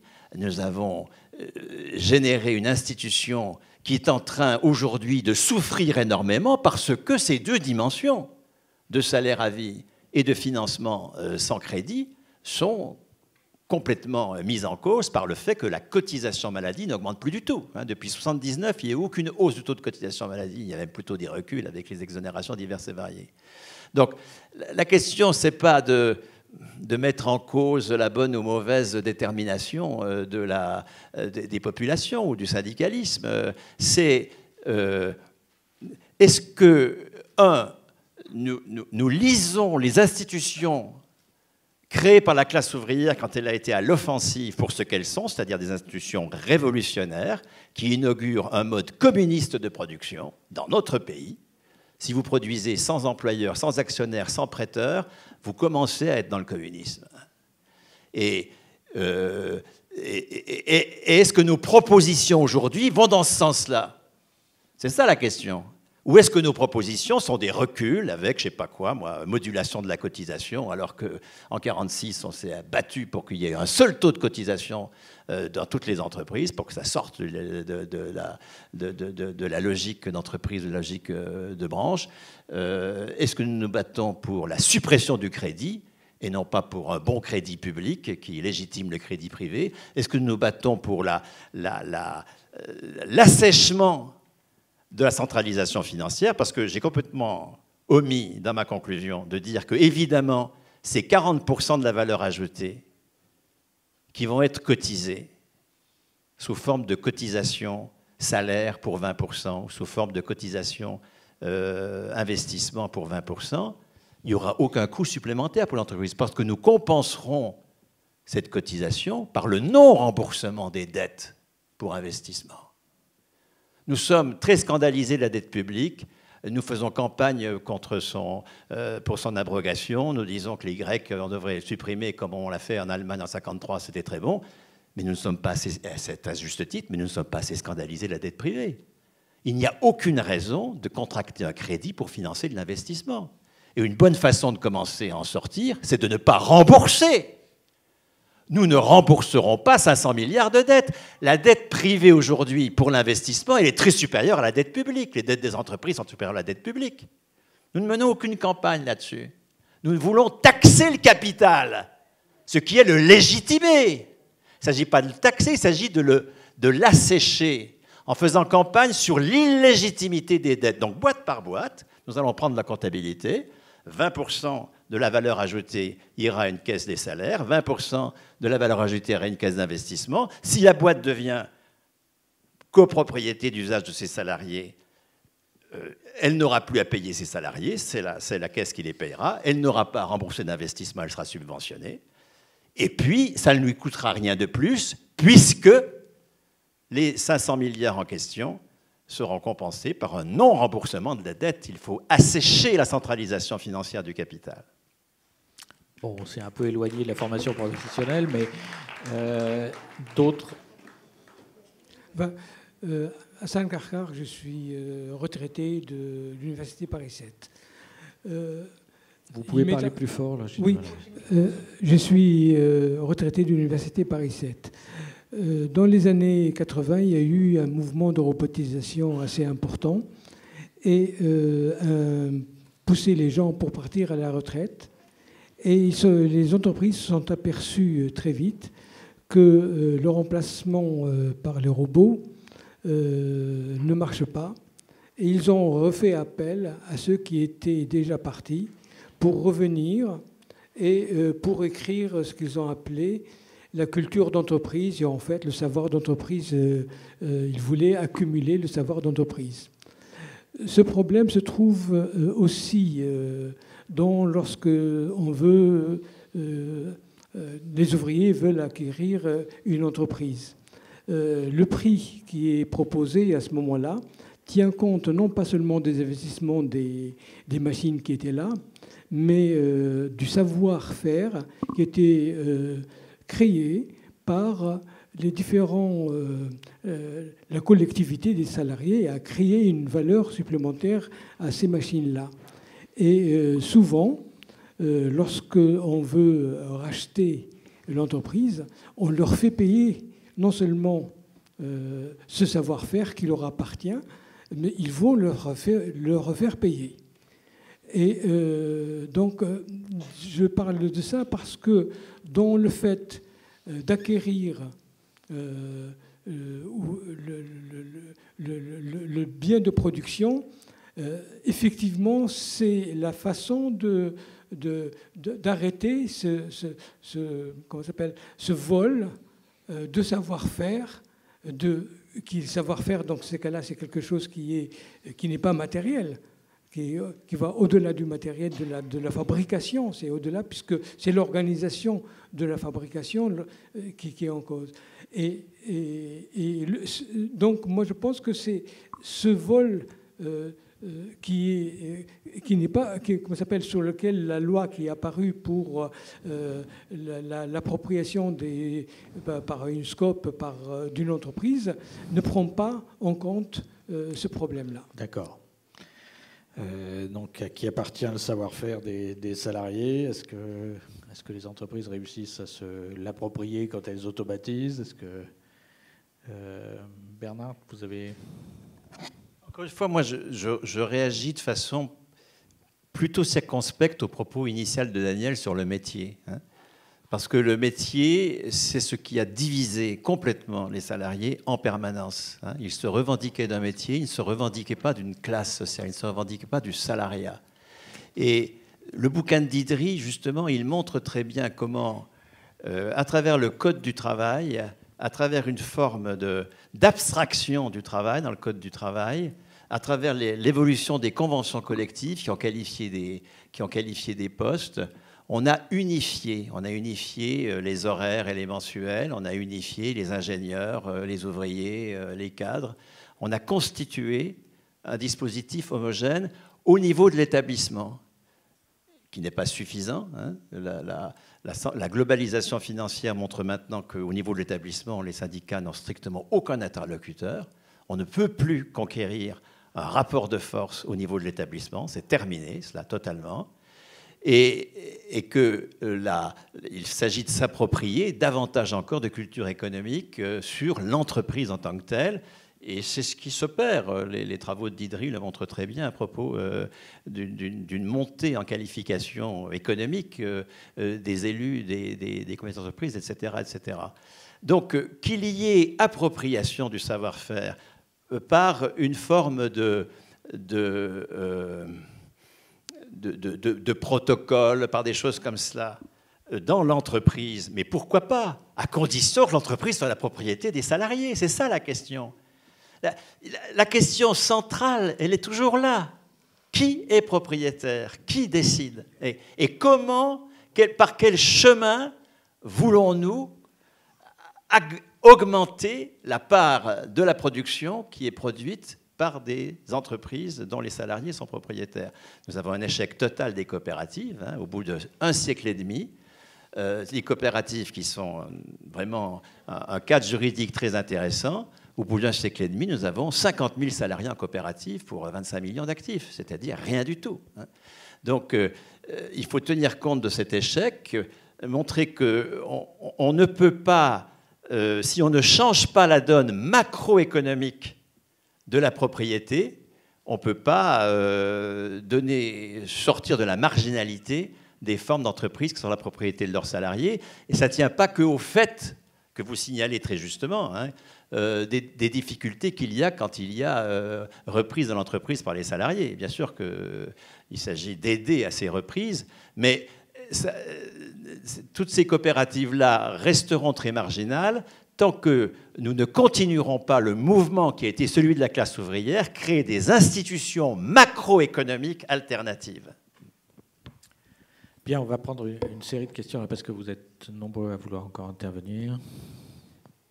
Oui, si alors moi j'ai trois questions à Monsieur Bernard Friot.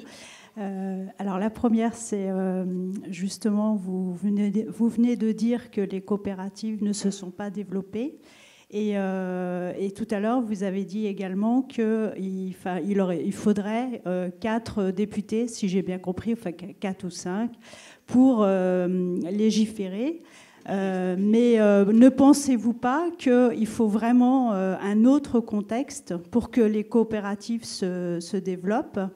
Euh, et euh, il faut euh, renverser la table. Enfin voilà, enfin, voilà moi concrètement, d'ici dix ans, je ne vois pas comment on peut avoir des textes qui favorisent la création des coopératives pour, pour permettre le salaire à vie, etc.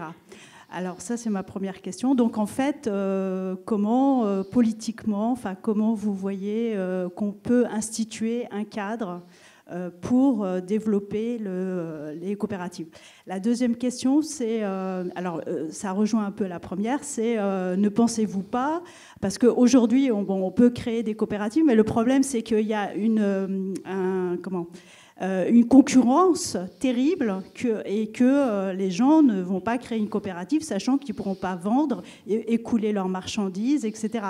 Donc le libre-échange, c'est quand même euh, un poids central pour qui fait que euh, on ne peut pas développer euh, d'entreprises dans les pays, euh, en tout cas les pays développés, où un certain besoin sont saturés, etc.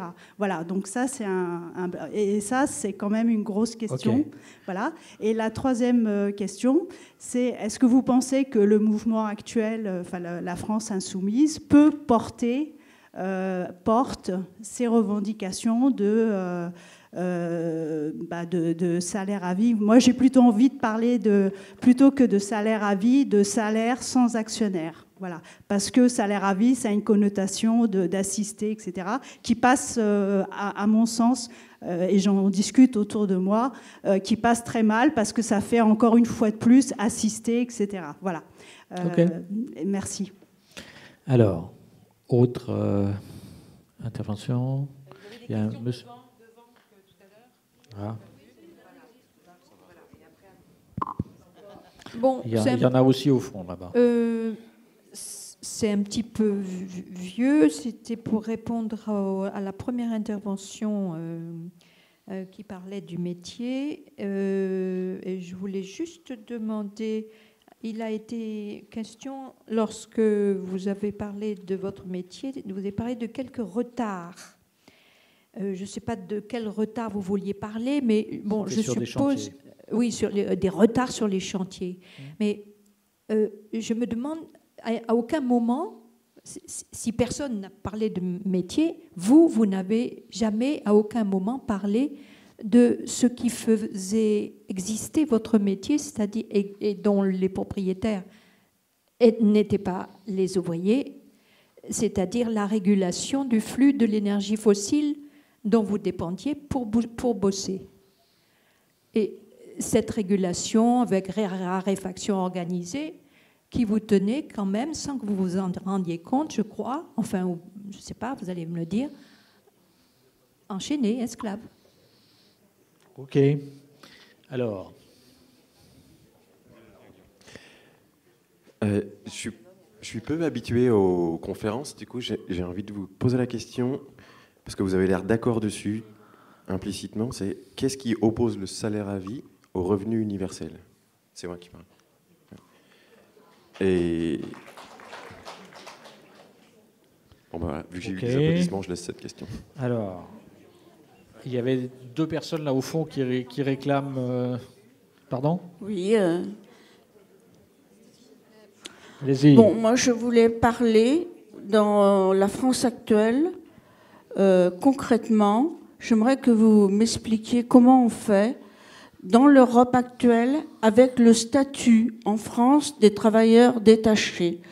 Euh, moi, je trouve personnellement que c'est un gros problème qui tire, qui tire tous les salaires, toutes les rémunérations vers le bas, à partir du moment où nous avons un niveau de protection sociale par comparaison avec les autres pays beaucoup plus élevé et que vous êtes en concurrence avec des pays comme la Roumanie. Et, euh, comment on fait Voilà, pour. Euh, voilà, c'était ma question. Merci. Une question simple. OK. Oui, euh, Jacques, professeur en retraite et ami de l'humanité.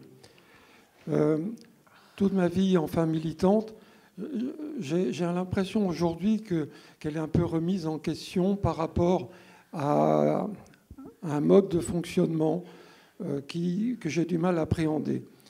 Euh, dans mon esprit, euh, un individu est, dans la société est reconnu par rapport à un travail, un emploi. C'était peut-être une vieille vision. Aujourd'hui, on nous parle de la disparition d'un tas de métiers. Enfin, ça a été rectifié il y a quelques, hein, depuis quelque temps, on parle plutôt de disparition des tâches. Et j'ai le sentiment qu'aujourd'hui, on est prêt à accepter de façon implicite à ce que des gens soient associés à la production et puis que d'autres, on leur donne 1000 balles pour qu'ils restent chez eux. Voilà. Pas encore euh, deux, trois dernières questions et après on va essayer d'y répondre. Euh, oui, bonjour, je suis euh, François, je suis agent contractuel dans un établissement public. Et je voulais revenir à la question du revenu inconditionnel d'activité. Je voulais revenir à la question du revenu inconditionnel. Et je, je, me posais la question, imaginons que je sois, je sais pas, je sois poète, j'écrive des vers, ou je sois peintre, et que mon œuvre n'intéresse absolument personne et n'intéresse pas euh, les coopératives euh, de, travailleurs. Comment je fais pour vivre? Voilà.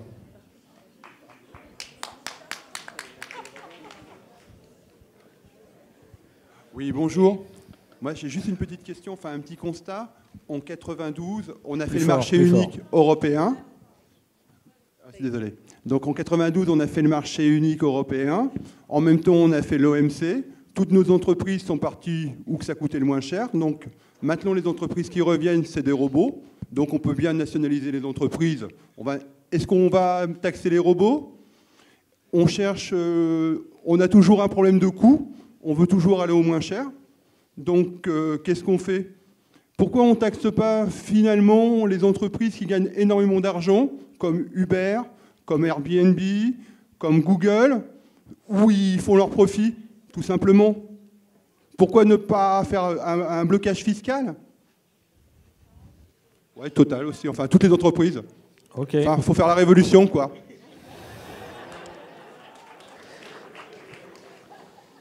Et une dernière question, intervention. Après, on va essayer de répondre en n'oubliant personne.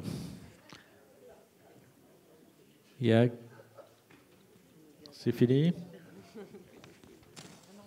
Alors, euh, d'accord. Donc, euh, les coopératives, euh, elles ne se sont pas développées, mais est-ce que c'est vraiment possible qu'elles se développent dans le contexte actuel?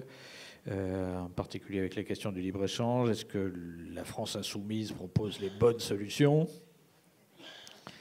Euh, et qu'est-ce qu'elle pense en particulier du, salaire à vie et comment elle se situe par rapport à tout ça? Oui, est-ce que quelle place joue le salaire à vie dans ces, dans ces revendications? Bon, alors sur le métier, sur les flux pétroliers, je ne sais pas si ça nécessitait des, une réponse, c'était plutôt une remarque euh, déjà. Quelle est la différence Alors, qu'est-ce qui oppose le revenu universel au salaire à vie?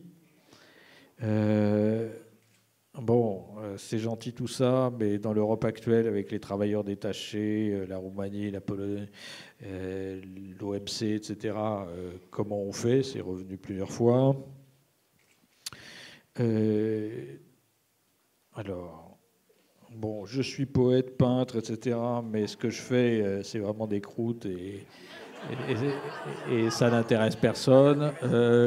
comment je fais pour vivre? Est-ce que j'ai le droit de vivre quand même? Euh, bon, les, les, emplois disparaissent à cause des robots, etc. Est-ce qu'il faut taxer les robots et qu'est-ce qu'il faut faire? Vis-à-vis de Uber, Airbnb, etc. Tous ces braves gens qui ne payent pas beaucoup d'impôts en particulier. Euh, vous démarrez, Maud, et en même temps.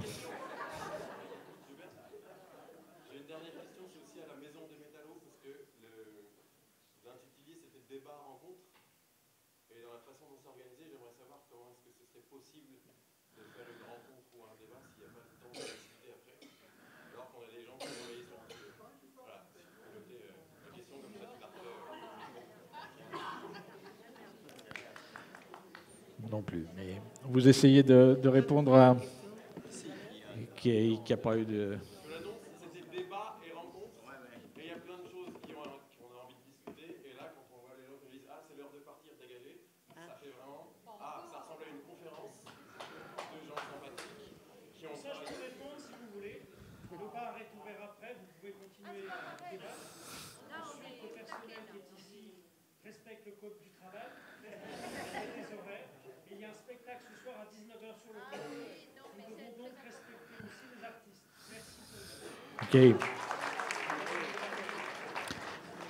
Bon, Maud, vous essayez de répondre à, quelques éléments Et, en même temps, un mot, un mot de conclusion aussi de votre part. Oui, non, moi je ne vais pas répondre. Enfin, je me sens euh, ah. pas forcément qualifiée, non, mais pour répondre aux différentes questions là, sur à la limite la question de, des artistes euh, et des modes de, de, rémunération ou d'émancipation, j'ai envie de renvoyer au, travail de Mathieu Grégoire, notre collègue qui a travaillé euh, là-dessus.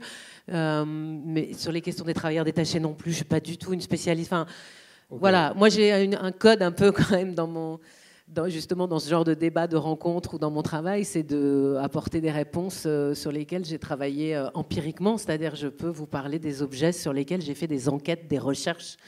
Euh, j'ai passé du temps sur le terrain, j'ai rencontré des gens, j'ai interviewé, j'ai observé. Donc là, les questions qui ont été évoquées, ce pas des, objets qui, ressortent de mes, analyses. Donc même les coopératives, j'en ai croisé très peu. Donc voilà, je, resterai sur sur, euh, sur ces terrains-là et du coup avec plaisir euh, pour échanger si euh, je resterai un petit peu dehors là, si d'autres ont envie d'une vraie rencontre, pas comme ça. Mais enfin, je pense que de toute façon, on est accessible aussi. Enfin, je pense que Bernard, c'est pareil. Hein, S'il y a des choses qui restent pas, pas, discutées ou pas poser des questions qui sont pas posées, c'est des choses qui peuvent avoir lieu après, évidemment, ou, plus tard. Voilà. Mais voilà, non, j'ai pas forcément de mot de conclusion. Je pense qu'on est sur des.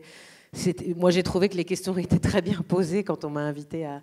Et je, plus, plus l'actualité avance, plus je crois qu'on est quand même au cœur de, débats importants. Je suis juste peut-être, si, peut-être terminer là-dessus. Je suis ravie que la question du travail soit centrale à nouveau, j'ai envie de dire, euh, dans nos préoccupations. Euh, euh, donc je, crois qu'il y, a des réflexions euh, et des, échanges à avoir parce qu'il y a quelque chose à pas rater euh, aujourd'hui sur, sur ces questions-là. Voilà. Bernard? Bah, Sur les coopératives, il y, a, par exemple, il y a une proposition assez simple. Les groupes, les groupes capitalistes n'existent que par les marchés publics. Il y a vraiment un ne que. Hein. Il n'y a pas que Dassault, c'est évident, mais prenez Bouygues, prenez FH, prenez tout ce que vous voulez. Euh, ce sont les marchés publics qui sont au cœur euh, du développement des groupes capitalistes. Euh, prenez Sanofi. et il y a une forme d'indignation populaire devant le fait que cet argent public enrichisse des, actionnaires. Pourquoi ne popularisons-nous pas euh, l'idée que les marchés publics doivent être réservés aux entreprises qui sont la propriété de leurs salariés? Là, nous allons sortir hein, euh, les coopératives de la marginalité. Au contraire, ils vont avoir un, énorme marché. Euh, voilà des choses assez simples dont je m'étonne même que, que nous, je sais pas, nous, ne les développions pas de façon plus, plus, plus évidente. Oui, parce qu'on n'ose pas mettre la question de la. Ben, c'est pas gros. Euh, euh, ce café, enfin, c'est pas, c'est pas plus gros, y en a plus de tremplins parce qu'il y a eu tout le travail de nos anciens. C'est pas plus gros que de, de récupérer, pour les gérer nous-mêmes, le tiers de la masse salariale. C'était le cas en 46 euh, et ça a augmenté ensuite jusqu'en 60. Euh, de le récupérer euh, pour euh, mettre en place un, système de santé qui ne relève pas de la logique capitaliste. Nous avons su le faire. Pourquoi ne saurions-nous pas le faire à nouveau? Enfin, on n'est pas. enfin, sauf à avoir une vue décliniste de notre, de notre avenir. Enfin, bien sûr que non. Nous avons plus d'atouts on dit euh, oui, mais le patronat était dans les choux, il y avait l'URSS, etc. Mais le patronat avait failli. Et le patronat aujourd'hui ne faillit pas. Il, est capable d'organiser le travail de façon écologiquement responsable? Il en est absolument incapable. Il est capable de maintenir euh, une activité industrielle dans notre pays, absolument incapable. Donc euh, il a totalement failli. C'est à partir de cela qu'il s'agit de faire peut-être de déplacer nos, préoccupations collectives euh, de, syndicalistes autour de, ou, de, politiques, autour de... Mais, nous sommes capables de gérer nous-mêmes les entreprises c'est ce qui fait aussi qui va faire que nous, nous rejoindrons tous les dissidents, euh, les trentenaires, là, les trentenaires qui veulent pas jouer les jeux du capital, qui veulent pas produire de merde pour le capital, qui bricolent avec le RSA pour, euh, euh, pour produire autrement. Si nous voulons leur parler d'une façon qui soit audible, parce qu'ils peuvent très bien être tentés, après tout, par un revenu de base à 800 balles inconditionnel, ce sera quand même mieux que les 450 balles du RSA avec une lettre de la CAF toutes les semaines leur disant qu'ils ont trop touché, trop perçu, trop machin, etc. etc. Et si nous voulons pouvoir nous adresser à eux, encore faut-il que nous montrions que nous avons déjà créé le travail indépendant avec salaire à vie, mais que ça suppose une institution macroéconomique qui s'appelle la cotisation salaire, la cotisation économique. Euh, les, coopératives euh, sortiront de leur marginalité lorsque nous, instituerons davantage hein, la socialisation de la valeur sous une forme communiste, euh, c'est-à-dire dans des caisses d'investissement gérées par les travailleurs eux-mêmes et qui vont subventionner l'investissement. Tout ça est possible puisque nous, avons, écoutez, nous avons construit un collège par jour, par jour, entre 65 et 75, en faisant appel au partenariat public-privé, en, en augmentant l'impôt, c'est-à-dire en mutualisant la valeur sous une forme non capitaliste. C'est ça la question. Continuons. On n'a pas inventé euh, l'alternative. Je vois quelqu'un qui voudrait à tout prix intervenir. Intervenez, s'il vous plaît.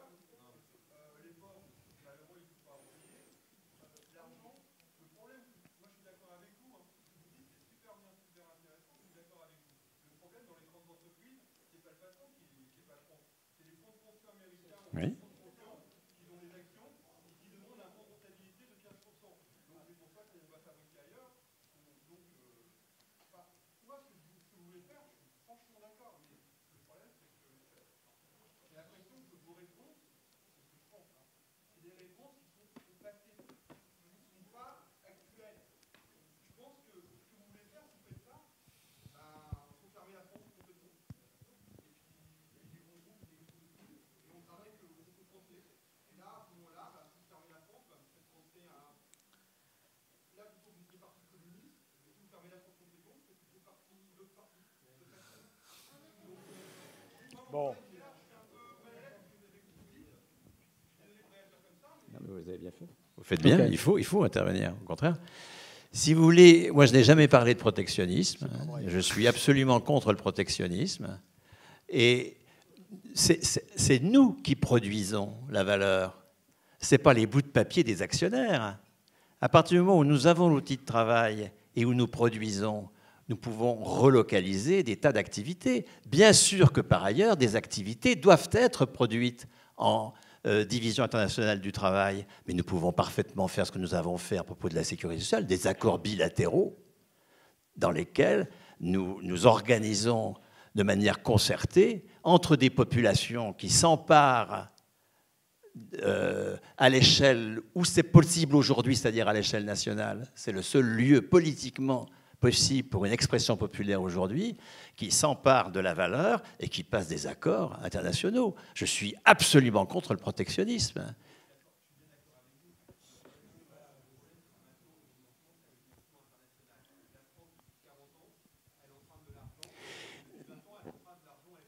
Non, la balance des capitaux, elle est nulle. C'est-à-dire que quand, on. Oh, globalement, elle est nulle. Enfin, je parle sous le contrôle de, de mon voisin. Euh, mais globalement, la balance des capitaux est nulle. C'est-à-dire que la part que le capital ponctionne sur la valeur que nous produisons en France et qui va à l'étranger est égale à la part ponctionnée à l'étranger et qui vient en France sous forme d'investissement étranger. C'est-à-dire que nous n'avons pas besoin de ces flux de capitaux pour financer notre investissement.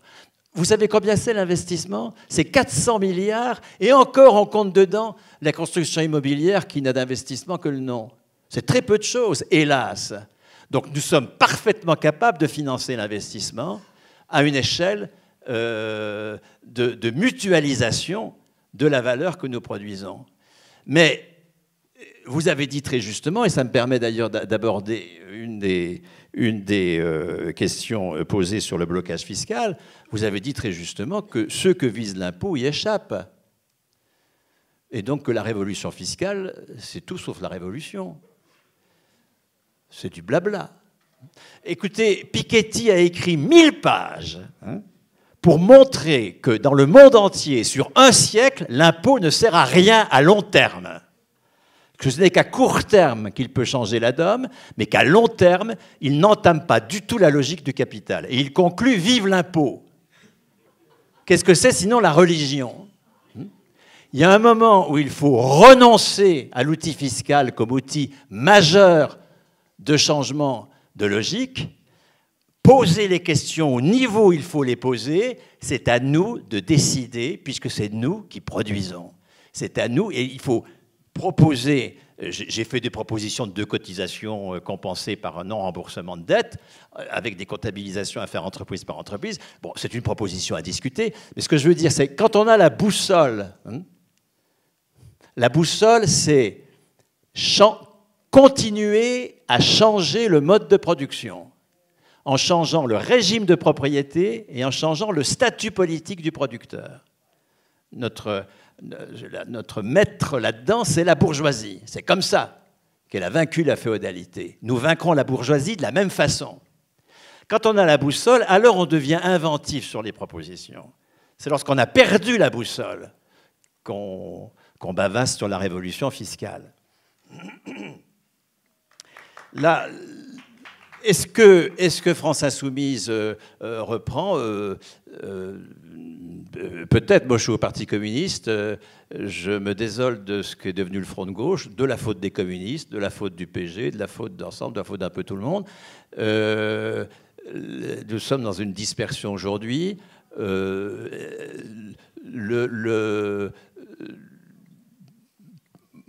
si vous voulez, j'ai fait une audition. Hein, euh, j'ai fait une audition pour, euh, pour la France Insoumise. Euh, c'était entre 8h et 10h du soir, un jeudi. C'était des auditions au mois de juin, mai-juin. Mélenchon auditionnait successivement de 6 à 8 et de 8 à 10. Ce jour-là, il était très fatigué, il a dormi pendant toute mon intervention. Ce qui montre que, ben, je lui en veux pas, hein, ce qui montre que je ne suis pas fait pour murmurer à l'oreille du prince, d'accord? C'est pas mon truc. Ce qu'il faut faire, c'est changer d'abord nos cultures à la base. Nous avons des cultures politiques, des cultures syndicales qu'il faut changer. Il faut que nous déplacions, déplacer le temps syndical. Les meilleurs de nos militants passent leur temps à discuter dans des instances où on ne peut que réduire les droits. Si le temps qu'ils passent ainsi, ils le passaient auprès des salariés, à l'auto-organisation des salariés, à la conviction que nous sommes les seuls légitimes pour décider au travail, et d'abord dans les lieux qui sont libérés partiellement de capital, d'abord dans la fonction publique. Les syndicats de la fonction publique, leur rôle, c'est d'auto-organiser les salariés pour qu'ils résistent aux ordres contre leur déontologie. Nous avons un statut, les fonctionnaires, qui nous permet de résister. Qu'est-ce que nous faisons? En quoi sommes-nous à la hauteur de notre statut? C'est ça, voilà, des choses. Nous devons faire la preuve qu'il vaut mieux travailler dans des lieux libérés du capital que dans des lieux qui ne le sont pas. C'est très simple à dire, très compliqué à faire. Mais si enfin nous, avions des programmes avec des énoncés simples, clairs, qui disent les choses au niveau où il faut les dire. On est entendu.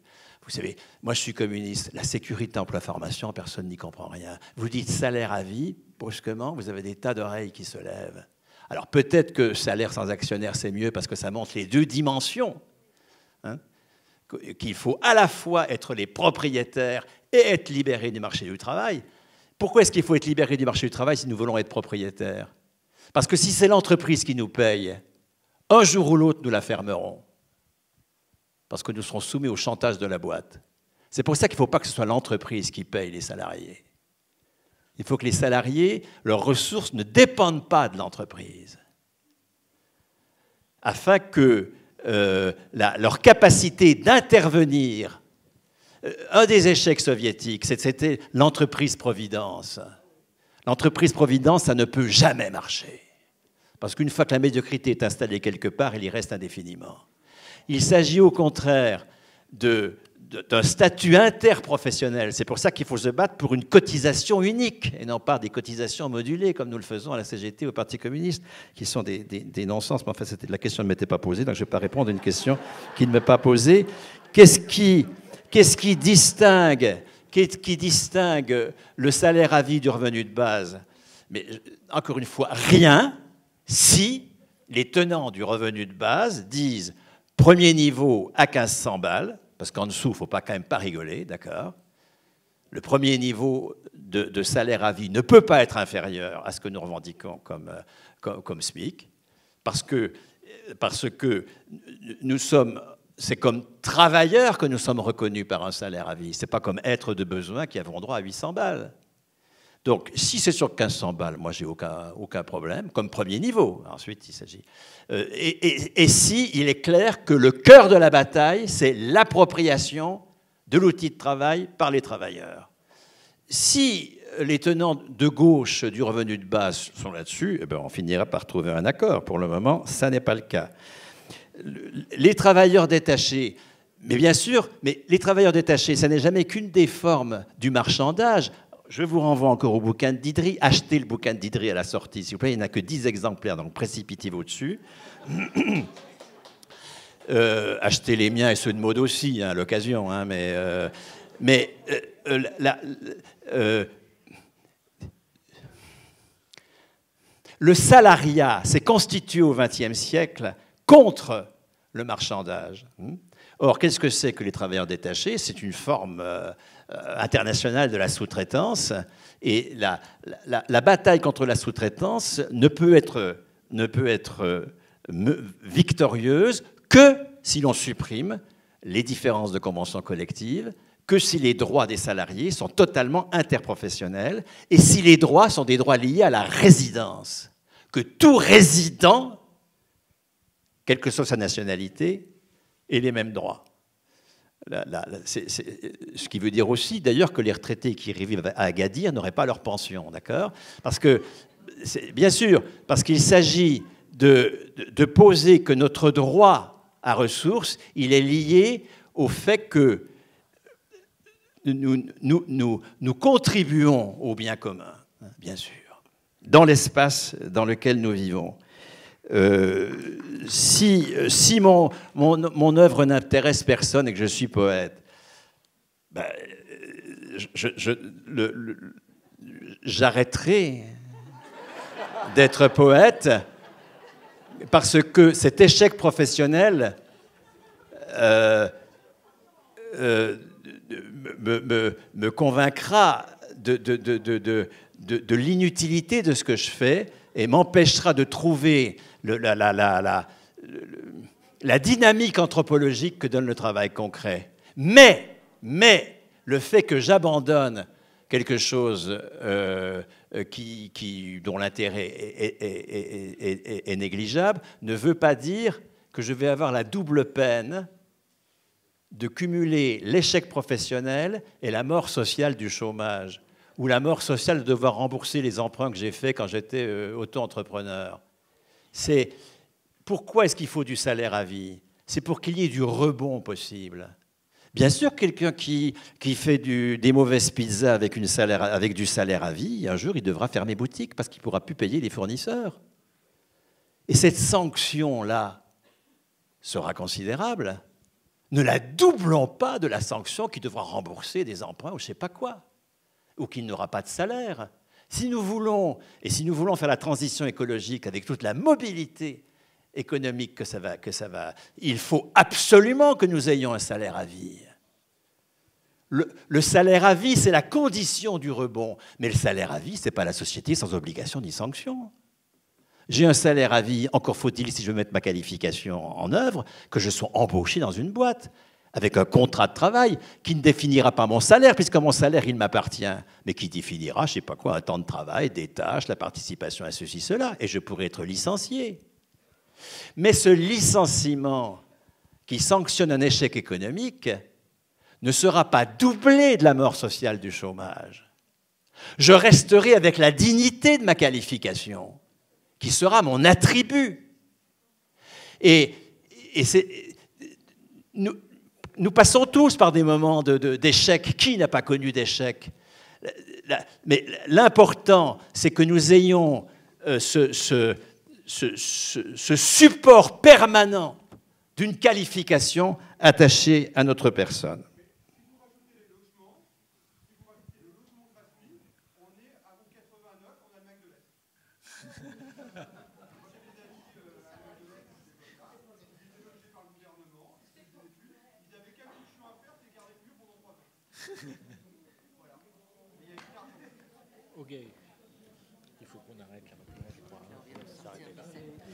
Nous vous laisserons le mot de la fin, cher ami.